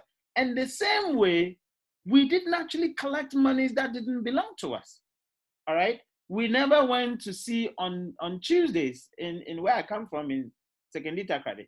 There is no way you can actually push your canoe on Tuesday. You wouldn't even there because the idea is that you capsize, and when you capsize, you die. All right. The gods will not come to your aid. But now we're doing it. Do you get it? So, as I was saying, there were so many social cultural values that bound us from being corrupt. All right. And we respected that. And so the society wasn't corrupt. But now these values, as we call them, the cleavages, have disappeared.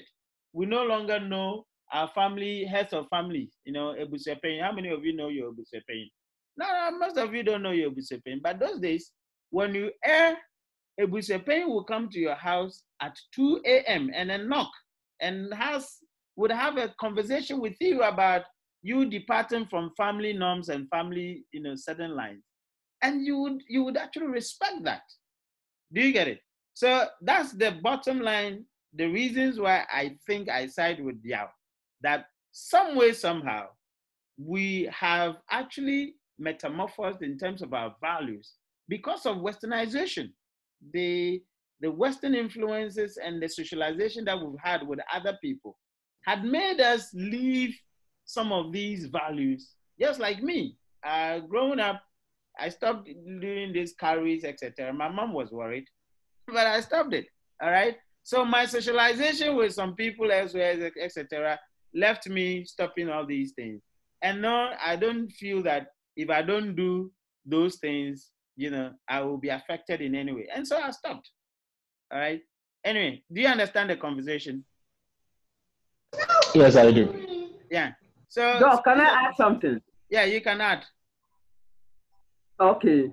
On the corruption issue, mm-hmm. we we have gone into multi-party democracy. Yeah. And we have MPs at our parliamentary parliament house. Mm-hmm. I remember when the NPP was leaving office in 2008, mm-hmm. the Kufuor government tried to sort of privatize Ghana Telecom into Vodafone today. Yeah. PC Ofori Appiah, the mm-hmm. then MP, mm-hmm. said all MPs were bribed with 5,000 US dollars mm-hmm. and 10 matter. But in the Western world, particularly United States, mm-hmm. they have institutionalized or legalized corruption in their system mm-hmm. by way of having organization called oh, lobbyist groups. Yeah that when businesses want their Congress to pass laws, the businesses go through this lobbyist group, who will also then talk with the congressmen or house representatives mm-hmm. to pass the law in favor of the business mm-hmm. so that they will get their profit. Yeah. But we don't have it yet. But I know with time it will come. Yeah. Yeah. What do you say about that, Doc? No, it's true. I mean, the point is that I I I, in particular, actually advocate for institutional institutionalization of lobbying, just like we are discussing the other time. Why? Because I think that that would that would rather you know um, make us be clear as to the transparency of lobbying. The the PC of appeal for his point that he made, you know, was not transparent. Nobody knew until he blew the whistle. Do you get it? But the issue is that if we had to actually, you know, uh, uh, legitimize lobbying, then of course both the giver and the taker of the lobbying resources must actually declare it and must make it plain, must make it open to people. So yes, would that be legalizing corruption? Perhaps the debate is out there for us to have. But the reality of modern society is that these things are happening and these changes are actually occurring. And for me, I keep saying that at some point in time, we cannot pick and choose what is Ghanaian and what is global because we keep saying we want to develop. And if you want to develop, the model of development is straightforward westernization, modernization. And some of these theories do not sit with our culture. So immediately we have to open up the culture and we have to, you know, break the culture into pieces and then we have to actually, you know, uh, uh, move on. I, I have conversations, as I was telling you, some of the conversation that we're, we're having at the tourism level. We said that, look, let us be frank. Sex tourism, must we discuss it as a nation and then have a policy around it? Some people do not want to even hear it at all. But the point is that you want your tourism to grow as Gabon. You want your tourism to grow as somewhere else. If that is the case, then you must have a legislation on certain parts of the of the of the pie. You know, if you want to actually allow so-called messieurs and then so-called uh, gigolos, you know, within your system, where CEOs from the US, you know, CEOs, men and women from the US would want to come and so-called relax in your country. You must be prepared for its, you know, uh, consequences.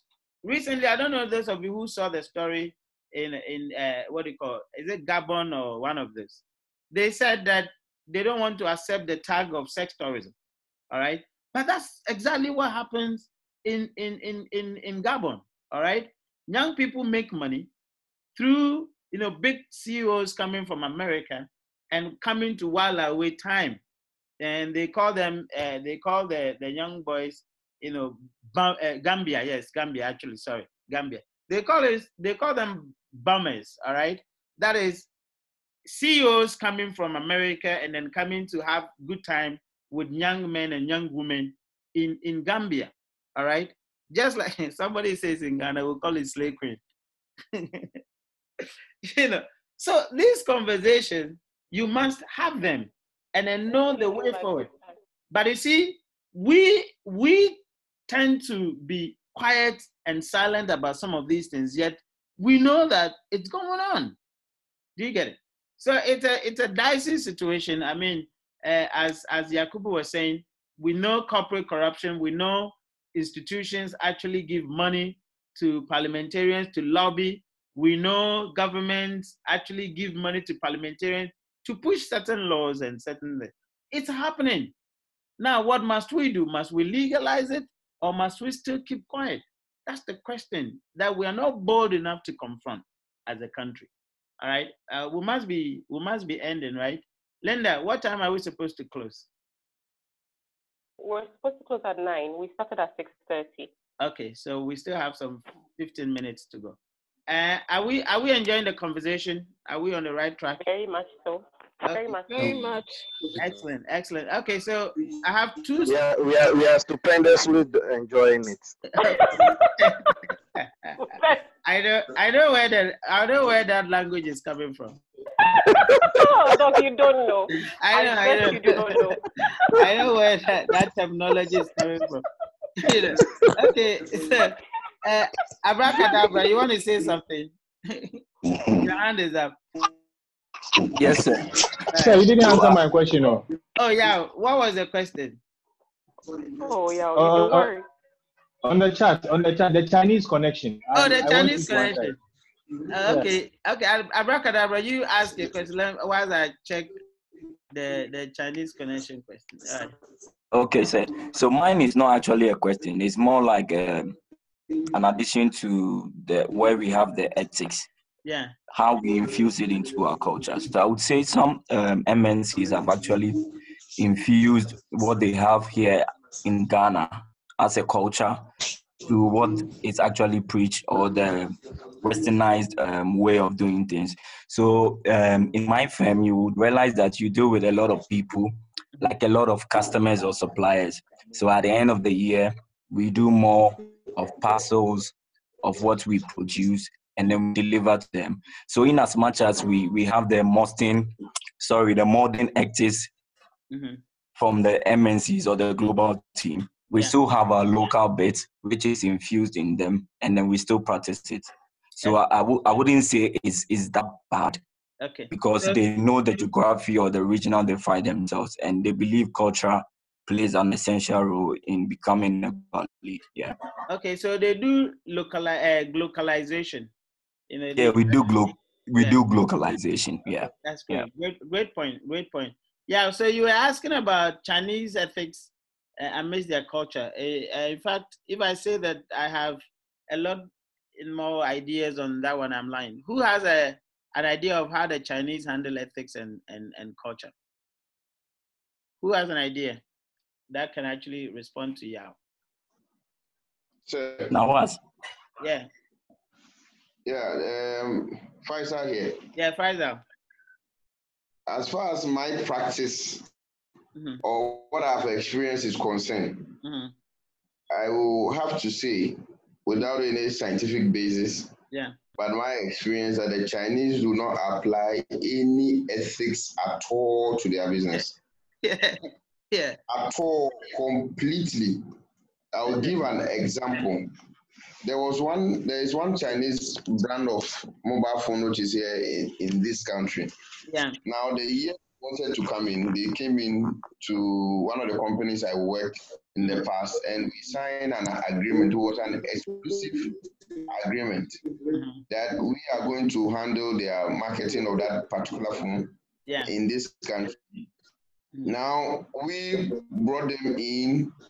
We met ministers of state. We showed them around mm-hmm. our distribution channels here and there. Mm-hmm. Then just when they started becoming very comfortable, they decided to set up here in this country. Then the man who we were dealing with starts talking to others behind our backs. Wow. At that time, he has known the market, he knows circle, he knows bigger players in the area. Yeah. And then they started dealing with them. Wow. And now brand is very popular in Ghana. And uh, when we raise the issue, he says, look, you need to business. It's business. It's the same way that the Chinese guys come to our country. Yeah. Find our own compatriots who are looking for money yeah. without any regard whatsoever for our environment. Yeah. They move straight into the bushes and live there for months. Give them materials for them to use, machines for them to use to destroy environment. So that they can get our gold and then ship back to their country and then they become rich.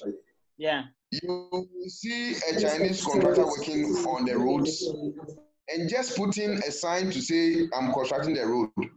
So from tomorrow, this is the diversion. Use it and then don't use this other ways. They just work as if, as if they just don't, they don't have any regard whatsoever. As far as my experience is concerned, yeah, they have no regard for ethics at all. So you can see a Chinese government come into a country in Africa where the leaders have not been democratically elected, and they tell you they apply the non-interference principle. Yeah. So yeah. when they come there and you are a, a coup maker who has taken government, they say it is none of their business. They are in to have a, a, a, a business relation. Yeah government in place, whether they, they were cool or they really don't care. Yeah.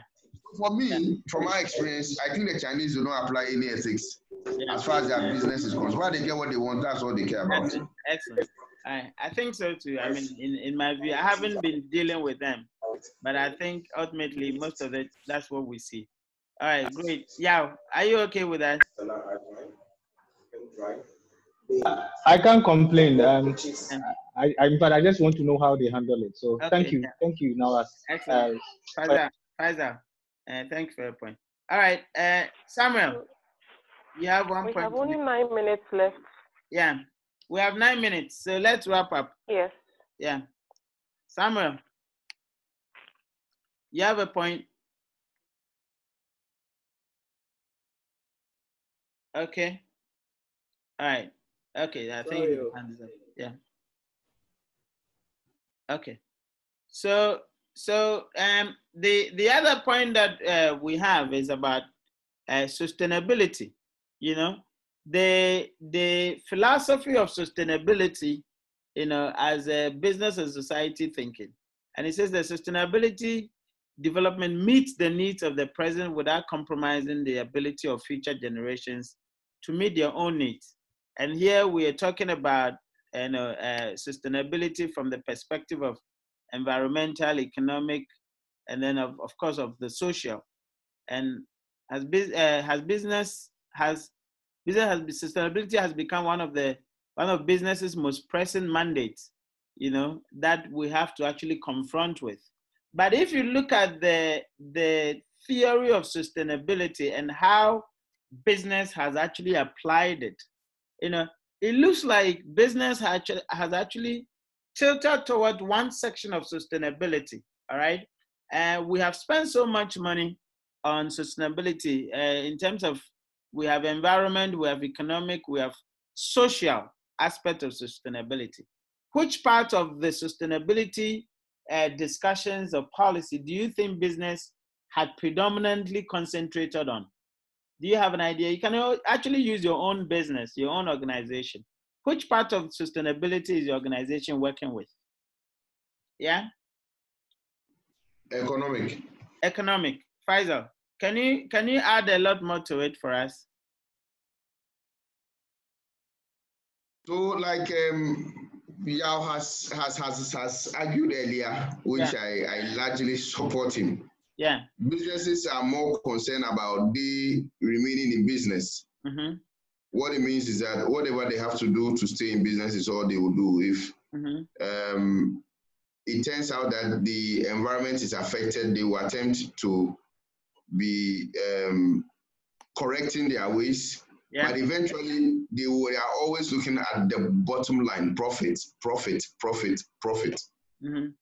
But I think that even if they choose to handle the environmental problems that they cause, mm-hmm. eventually it still leads to their own economic prosperity. Yeah. If they choose to tackle even a social issue, mm-hmm. for instance, unemployment, mm-hmm for me, I think it still goes a long way mm-hmm. to inure to their economic yeah. um, sustainability. Yeah. Do, do you think that environmental sustainability is expensive and that's why business has shunned it?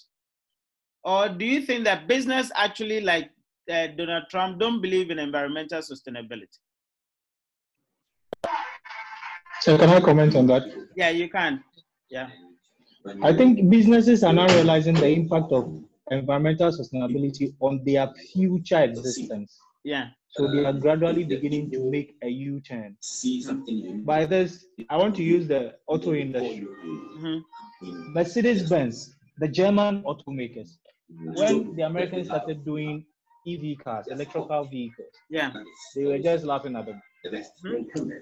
And now Tesla comes in, breaks the market, and now Mercedes Benz and VW, they all realize that people, the, the environment is changing. Let's do something. Yeah. So, so, so businesses have realized that the, the, it's just one ball, mm-hmm. and that is all that they have. And if yeah. they really want to live for long, they need to start planning. But you can clearly see how they are doing it. Mm-hmm. They have allocated R&D budgets to them. They're coming up with wild concept cars, but they are still producing and mass mm-hmm. their gas guzzling vehicles. Mm-hmm. Until such a time that society's needs will change to EV, mm-hmm. are just going to milk society as long as they can. Mm-hmm. Yeah, yeah, great point. And when they get to the point, the bridge where environmental sustainability is coming in. Mm-hmm. Mm-hmm. Excellent. I think that, that that's the that's the the source and the reasons, you know, uh, the source of the doubts or the, uh, the source of the doubters. You know, when yourself and uh, Samuel were making the, the case that, you know, at the heart of, you know, businesses' response to society is profitability. And you see that from the attitudes of management that economic sustainability, just like uh, yourself and Faisal actually said earlier, that since we started speaking about sustainability, majority of businesses actually plug their CSRs into economic sustainability. Why? Because that actually had a direct translation, they thought, to their survival and to their existence. So to some extent, it was give the money to society, but in the end, you end up benefiting from it. But they saw businesses actually saw environmental sustainability as a threat to actually survival because environmental sustainability actually talks about the, the protection of the forest, afforestation projects, for example, the idea that we should stop felling trees and then making sure that we can actually protect the forest. The idea that we should actually move towards uh, some kind of synthetics as opposed to the natural use of resources, etc. Some businesses thought that it actually meant existential threat to business. So you realize that most of the attitudes the environmental sustainability wasn't on top of the business's agenda because they felt that it could actually spell doom for them. And some of them actually thought it was expensive. I mean, how much long must you wait for a whole forest that has been depleted to grow again? And how much resources must you commit? You know, these were critical questions, long term questions that businesses who were so much short term oriented, looking for profit, profit, didn't have time for that. And currently, we're even talking about the rivers, our own rivers. We're talking about, you know, uh, what do you call Galamsey and all those things. All these things coming to actually demonstrate that indeed, although business was opening up to the idea of society, they were looking for opportunities. Where are the low hanging fruits that we can actually plug and to demonstrate to the people that indeed we are responding to society, as opposed to taking on the big environmental issues, the big environmental, you know, questions, and making sure that they can plug in resources in order to protect the society, to protect the environment. For the long term, businesses were serving these, these concerns, you see. So I think that, again, one of the questions that we must ask ourselves as businesses, where have we been concentrating on when it comes to business and society? When it comes to the idea of sustainability, have we been too much focused on economic sustainability? And to what extent is our shunning of environmental sustainability really impacting on our own business and our own survival? And how do we actually meet that challenge to, to in order that society can have trust in us again that indeed we actually care about the environment but not profitability. You know that what we call the triple bottom line, planet, people, and profitability. And organizations that actually respond to really sustainability issues, sustainability issues, the planet comes first. And when we talk about planet, it is more of environmental sustainability. And then the people comes first, as the people come second, which is more of economic and social, you know, uh, uh, what do you call sustainability. And then before profit, that which of course is tied into economic sustainability and to our own survival. So I think that these are some of the questions that as we leave here today, we have to ask ourselves, which part of sustainability has our business concentrated so much? Why are we concentrating so much on that aspect of sustainability? And what must we do to environmental sustainability, which is very pivotal to the entire sustainability conversation? I think we must actually concern ourselves about that. Is that okay? Uh, anybody has any, a point to make before we finish on this note? Yeah? Anyone? Uh, okay, Daniel, you want to say something? Yeah. Yes, Doc. Um, concerning environmental sustainability, I think mm-hmm. the responsibility is more uh, on the regulatory um, institutions and regulatory mm-hmm. bodies because the reality is the businesses will always focus on the economic sustainability. Mm-hmm. And if uh, we leave them to their own devices regarding environmental sustainability, we won't get so much. So I yeah. think so far the environmental um, institutions like the EPA have been doing mm-hmm. uh, their job of controlling what the businesses do in order to ensure that environmental sustainability is kept um, in focus. And I think that's what um, they have to continue to be doing, and uh, that would solve the problem of environmental sustainability. Mm-hmm. We can't rely on the businesses to do it. Excellent, excellent. I, I like the idea of the EPA. Even even the attitude of government towards environmental sustainability is appalling. Up to now, EPA is EPA an authority, or they they they, they actually do not is environmental protection agency, isn't it? Yeah. Yes, yeah, it, it has it has been an agency since we knew it. All right, since it was set up. Why is it that EPA is not an authority that can actually bite? And actually tells you about our attitude, even as government, even as people towards the environment. Very, very, very minimal. And these are some of the things that we're talking about.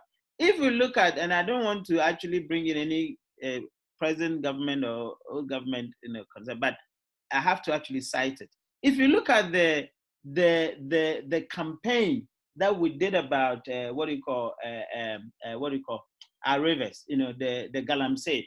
Look at the way the entire country rose, you know, to push Galamsey, and government responded appropriately, you know, with much force. And we all had hope that once government has responded with much force, we're going to see the turnaround of our rivers. What happened? You know, we're still struggling. And for some of us, we are so afraid that one day, one day, we will hear that there's a ship that's supposed to dock at Tema to give water to Ghana, and the ship is not here. And then we'll be, we'll be looking for water. And it's serious. And would it, would it be surprising to us? No, because things Not that uh, tomatoes and rice that we used to produce in there is not supposed to come from Burkina Faso. So how was it that we'll be strange to you that a ship supposed to dock at Tema and then bring us water, the ship is still delaying, and then people are holding their buckets at the port, they are waiting for the ship to bring the water. We'll be here and then it will be happening. you. You know. anyway, yes. Yes. Whose hand is up? Okay. Uh, let let Abina speak. Abina, let's listen to you and then we'll go. Wow. Um, I would like to make a, a contribution in support of what I think Daniel said um, concerning um, the regulatory bodies. I, I work in the bank, and then um, what uh, I've noticed, even though um, decisions are sometimes taken Mhm. with regards to um, uh, environmental sustainability and social sustainability, it always boils down to economic. So the question that is asked is, how will this impact our PBT if we are to do this?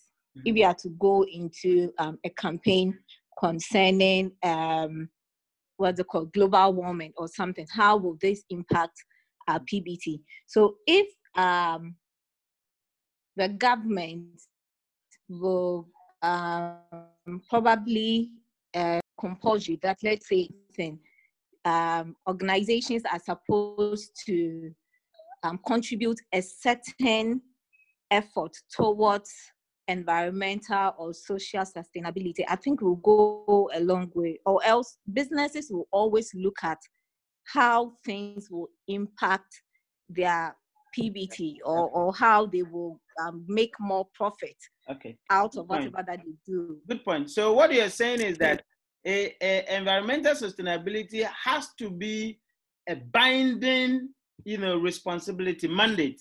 All right. And and that's what people, just like what you have said, Abina, that's what people have advocated that if EPA, Environmental Protection Agency, was actually made an authority, part of their feasibility study for businesses to co- to exist or to set up will be certain, you know, uh, uh, certain KPIs that you are supposed to achieve when it comes to environmental, you know, sustainability. But because EPA is not an authority and it's just an agency, they are not able to enforce some of these things. All right. So that's a fantastic point that you, you have made. If governments would, through policy, you know, enjoin companies to show certain key performance indicators regarding environmental sustainability, things will change. And I agree with you perfectly on that. All right. Fantastic point. So, so with the issue of the EPA, I think sometimes it depends on the nature of business that the company is carrying out. Because with the free zones, for instance, in applying for a free zones license, it's a requirement. You need to provide um, approval from the EPA Yeah. to show that you've given approval to set up your site and you are going according to their policies and all that. Mhm. But I think sometimes it depends on what the organization is doing and the kind of government agency that will intervene to regulate their activities. Okay. All right. Good point. Faisal, before I come to you, let's let's listen to Nigel. Nigel, let's listen to you. Yes, sir. Um, just to buttress uh, the point Nawaz was making, taking a cue from what he said, Mhm. I think um, it's also the fact of the industry the organization is operating in. Mhm. Because, uh, for instance, I'm in the oil and gas industry, downstream sector, Yeah. and um, before you have the license from the National Petroleum Authority, Mhm. that's the NPA, to construct and operate a storage terminal, Mhm. you have to have been passed by the EPA Yeah. that all environmental um, T's and I's, you know, are in place Yeah. before you actually. So they are not entirely an authority on their own now, Mhm. but as an agency, I think it's a step-by-step process Yeah. where they get to, you know, the place where more emphasis is put on that. Okay. So so so essentially what you're saying is that it depends on the business and the impact that they have on the environment.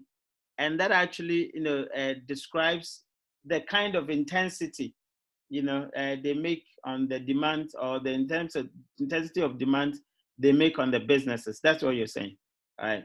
Sir. Okay. All right. Good point. All right. Excellent. Now, uh, abracadabra. Let's listen to you. Yes, sir. Hmm. So um, I, w- I think I, I side with what Nigel and um, hmm. Nawaz had mentioned. So, say, if you look at, um, I think maybe Rejoice will be able to help me. Is on duties.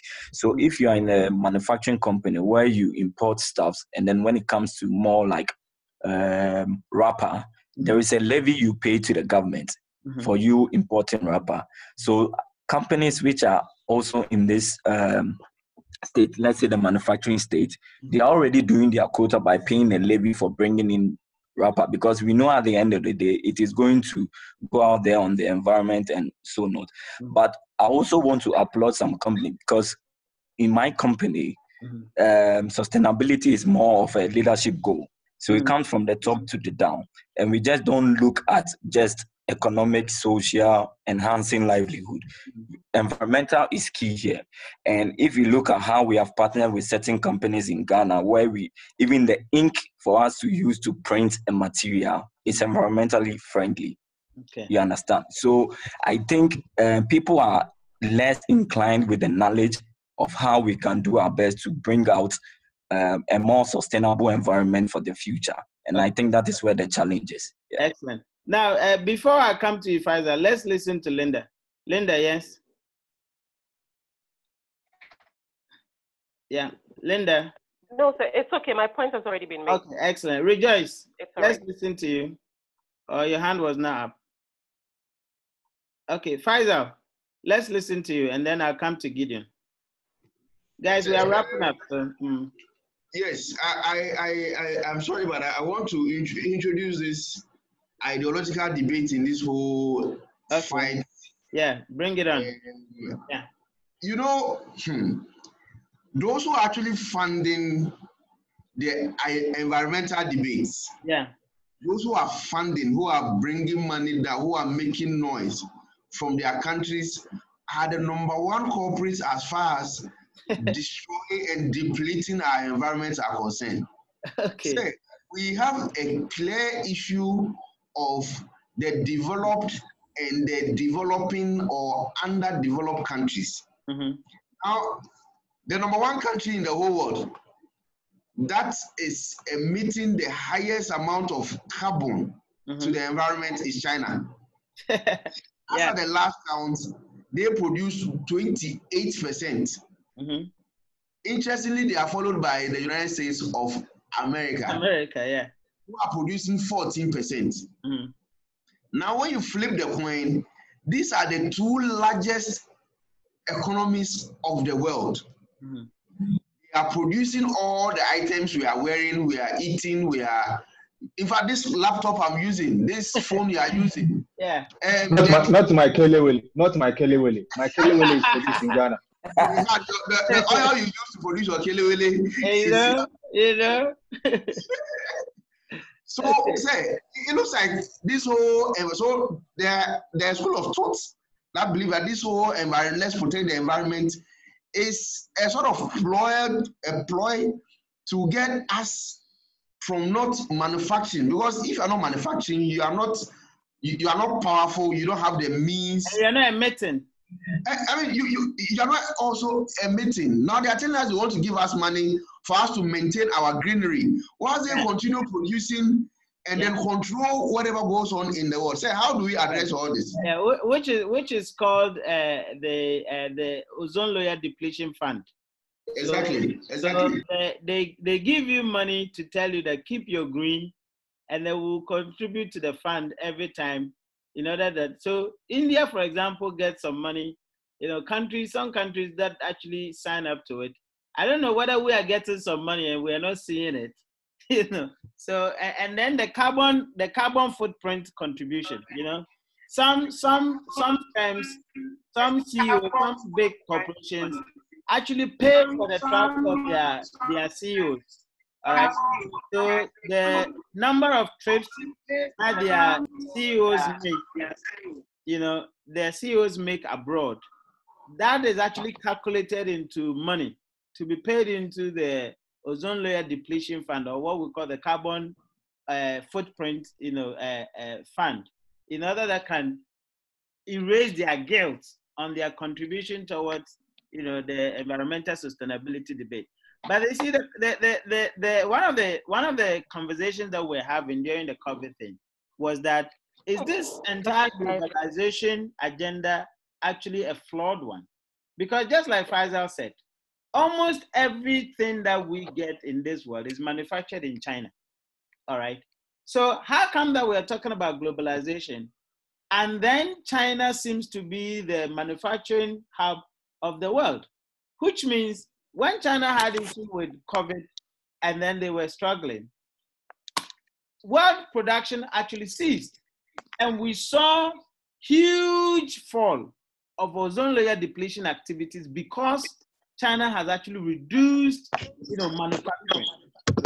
And that's why Kofi Annan once said that if we don't distribute the benefits of globalization equally, and the benefit of globalization means that if we don't expand the, uh, the manufacturing base to include other countries such as the smaller African countries, where we can actually concentrate manufacturing there, the globalization, the benefits of globalization will not be equal. And so we'll have problems just as we're having now, like COVID hits, all right? Source countries that have been hit hard by COVID are the ones that we're supposed to expect some kind of, you know, uh, manufacturing or some kind of service from. And now they're not producing, you know? So the idea that, you know, uh, uh, the, we are in a globalized world seems to be a flawed one. The idea that, you know, because of environmental sustainability, some countries must produce and some countries must not produce it actually seems to be a flawed one because some people have started questioning, you know, the idea behind why we must keep our greens. And then when you drive through the entire Britain, you realize that everywhere there's a production plant. Yet you are telling us that we should actually keep our forest, and then we're still thinking about, you know, developing. So I think these are some of the conversations that we can actually concern, uh, con- concern ourselves with and then start you know having some some some some some solutions but the point is that if we don't dialogue as just as africa we always do we shun away the big conversations the big ideological conversation as Faisal was calling it that it's an ideological debate and then we concentrate ourselves with the small small ones you know the small small issues the daily uh, people call it what butter a daily butter or butter uh, daily bread issues we will not bread and butter. bread and butter issues. We will not go anywhere because we're not having some of the biggest conversations that we should have. I remember I was discussing. Sorry for going overdrive, but these are some of the passions that some of classes like this actually, you know, bring. I remember I was actually discussing uh, some things with one of the Imani boys. They say in Ghana we don't discuss this. I said no, you're lying. Political parties discuss issues. What we don't discuss is we don't discuss policies because policies are long term, they are very ideological, and a lot of people don't understand it. But we discuss issues. The issues are very short term issues. Because if you come to my place and you say you give me eh, a road, I'll build roads. Road is not a policy issue. Road is in fact a program because everybody can do it. All right. But the big idea issues, that demands how are you going to do it, which demands the ideological debate and whether we can actually demonstrate vision and demonstrate development. We're not having those conversations because those conversations don't win votes because people don't understand it, people don't comprehend it. All right.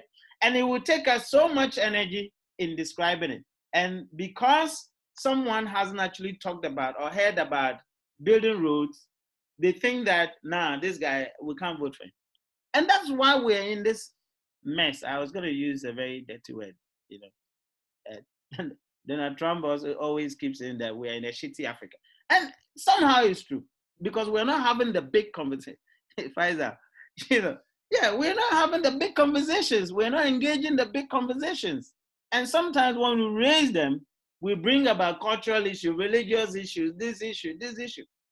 Since I mean, when are we going to confront the future? When are we going to confront the big, you know, uh, what do you call ideological debates that can drive us? Sometimes you get frustrated by it. Anyway, guys, sorry. Yeah, Bridget, you want to say something? My apologies, right? Yeah. Yeah. yeah. yeah. You have, I really enjoyed the class. Thank today. you. Yeah, thank you. My Bridget, Bridget, you are one. has yeah. changed, and then I I am really glad I didn't drop this course. Thank you. Yeah, but we've we've we've gone overboard. I would suggest that um our next session, if we could start at 6 p.m. Yeah. yeah. Sorry about that. I was having a financial services class, which was four to six. So it was difficult. Bridget, I like I like your strategy. You first of all please dog and telling him that we should close. no, that's a good point. Yeah, thanks so much for that. Uh, last last two, and then we can close. Um, yes, last two, last last two. Gideon. Yeah. Four, five. Oh, I, I thought my hand was, was down. Um, I've been asked to lower my hand, so we close. But okay, let okay, me still okay. ask my question. All right. but let me still ask my question. All right. Um, mine is just um, a, a, suggestion or more of a question. I was asking, I was suggesting if we could not um, be complementing each other, the regulator and then the the business, because mm-hmm. you see, when you allow the regulate, when you allow the business to operate without regulations, they'll mm-hmm. go overboard. They will destroy the environment. Yeah. When you um, go so hard on the business, they would complain. You know, now um, we've just spoken about ethics. Mm-hmm. You realize what happened with these environmental issues, where the tax force is now being bribed to allow them to mine. Mm-hmm. And so the regulator is trying to enforce the rules. People are bribing them, and so the ethics and then the regulation are all mixed up. So yeah. I think it's a situation where we both can complement each other, where the business would ensure that it's doing the right thing, and then the regulator is also ensuring that it's, yeah. it's um, um, enforcing the rules so that we okay. all coexist.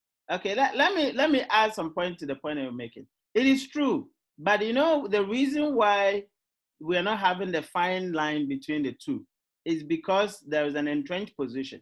Look at the regulators. I, I may be wrong, but majority of times those who head regulators are pure public service people.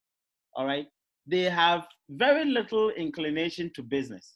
Business people hardly also go into public service, and they hardly go into politics. All right, so you realize that the person who's actually heading the regulatory institution is a public servant he's a politician, and he has no attachment towards business. All right. So when and I told you that when the policies are being made, they are made by human beings.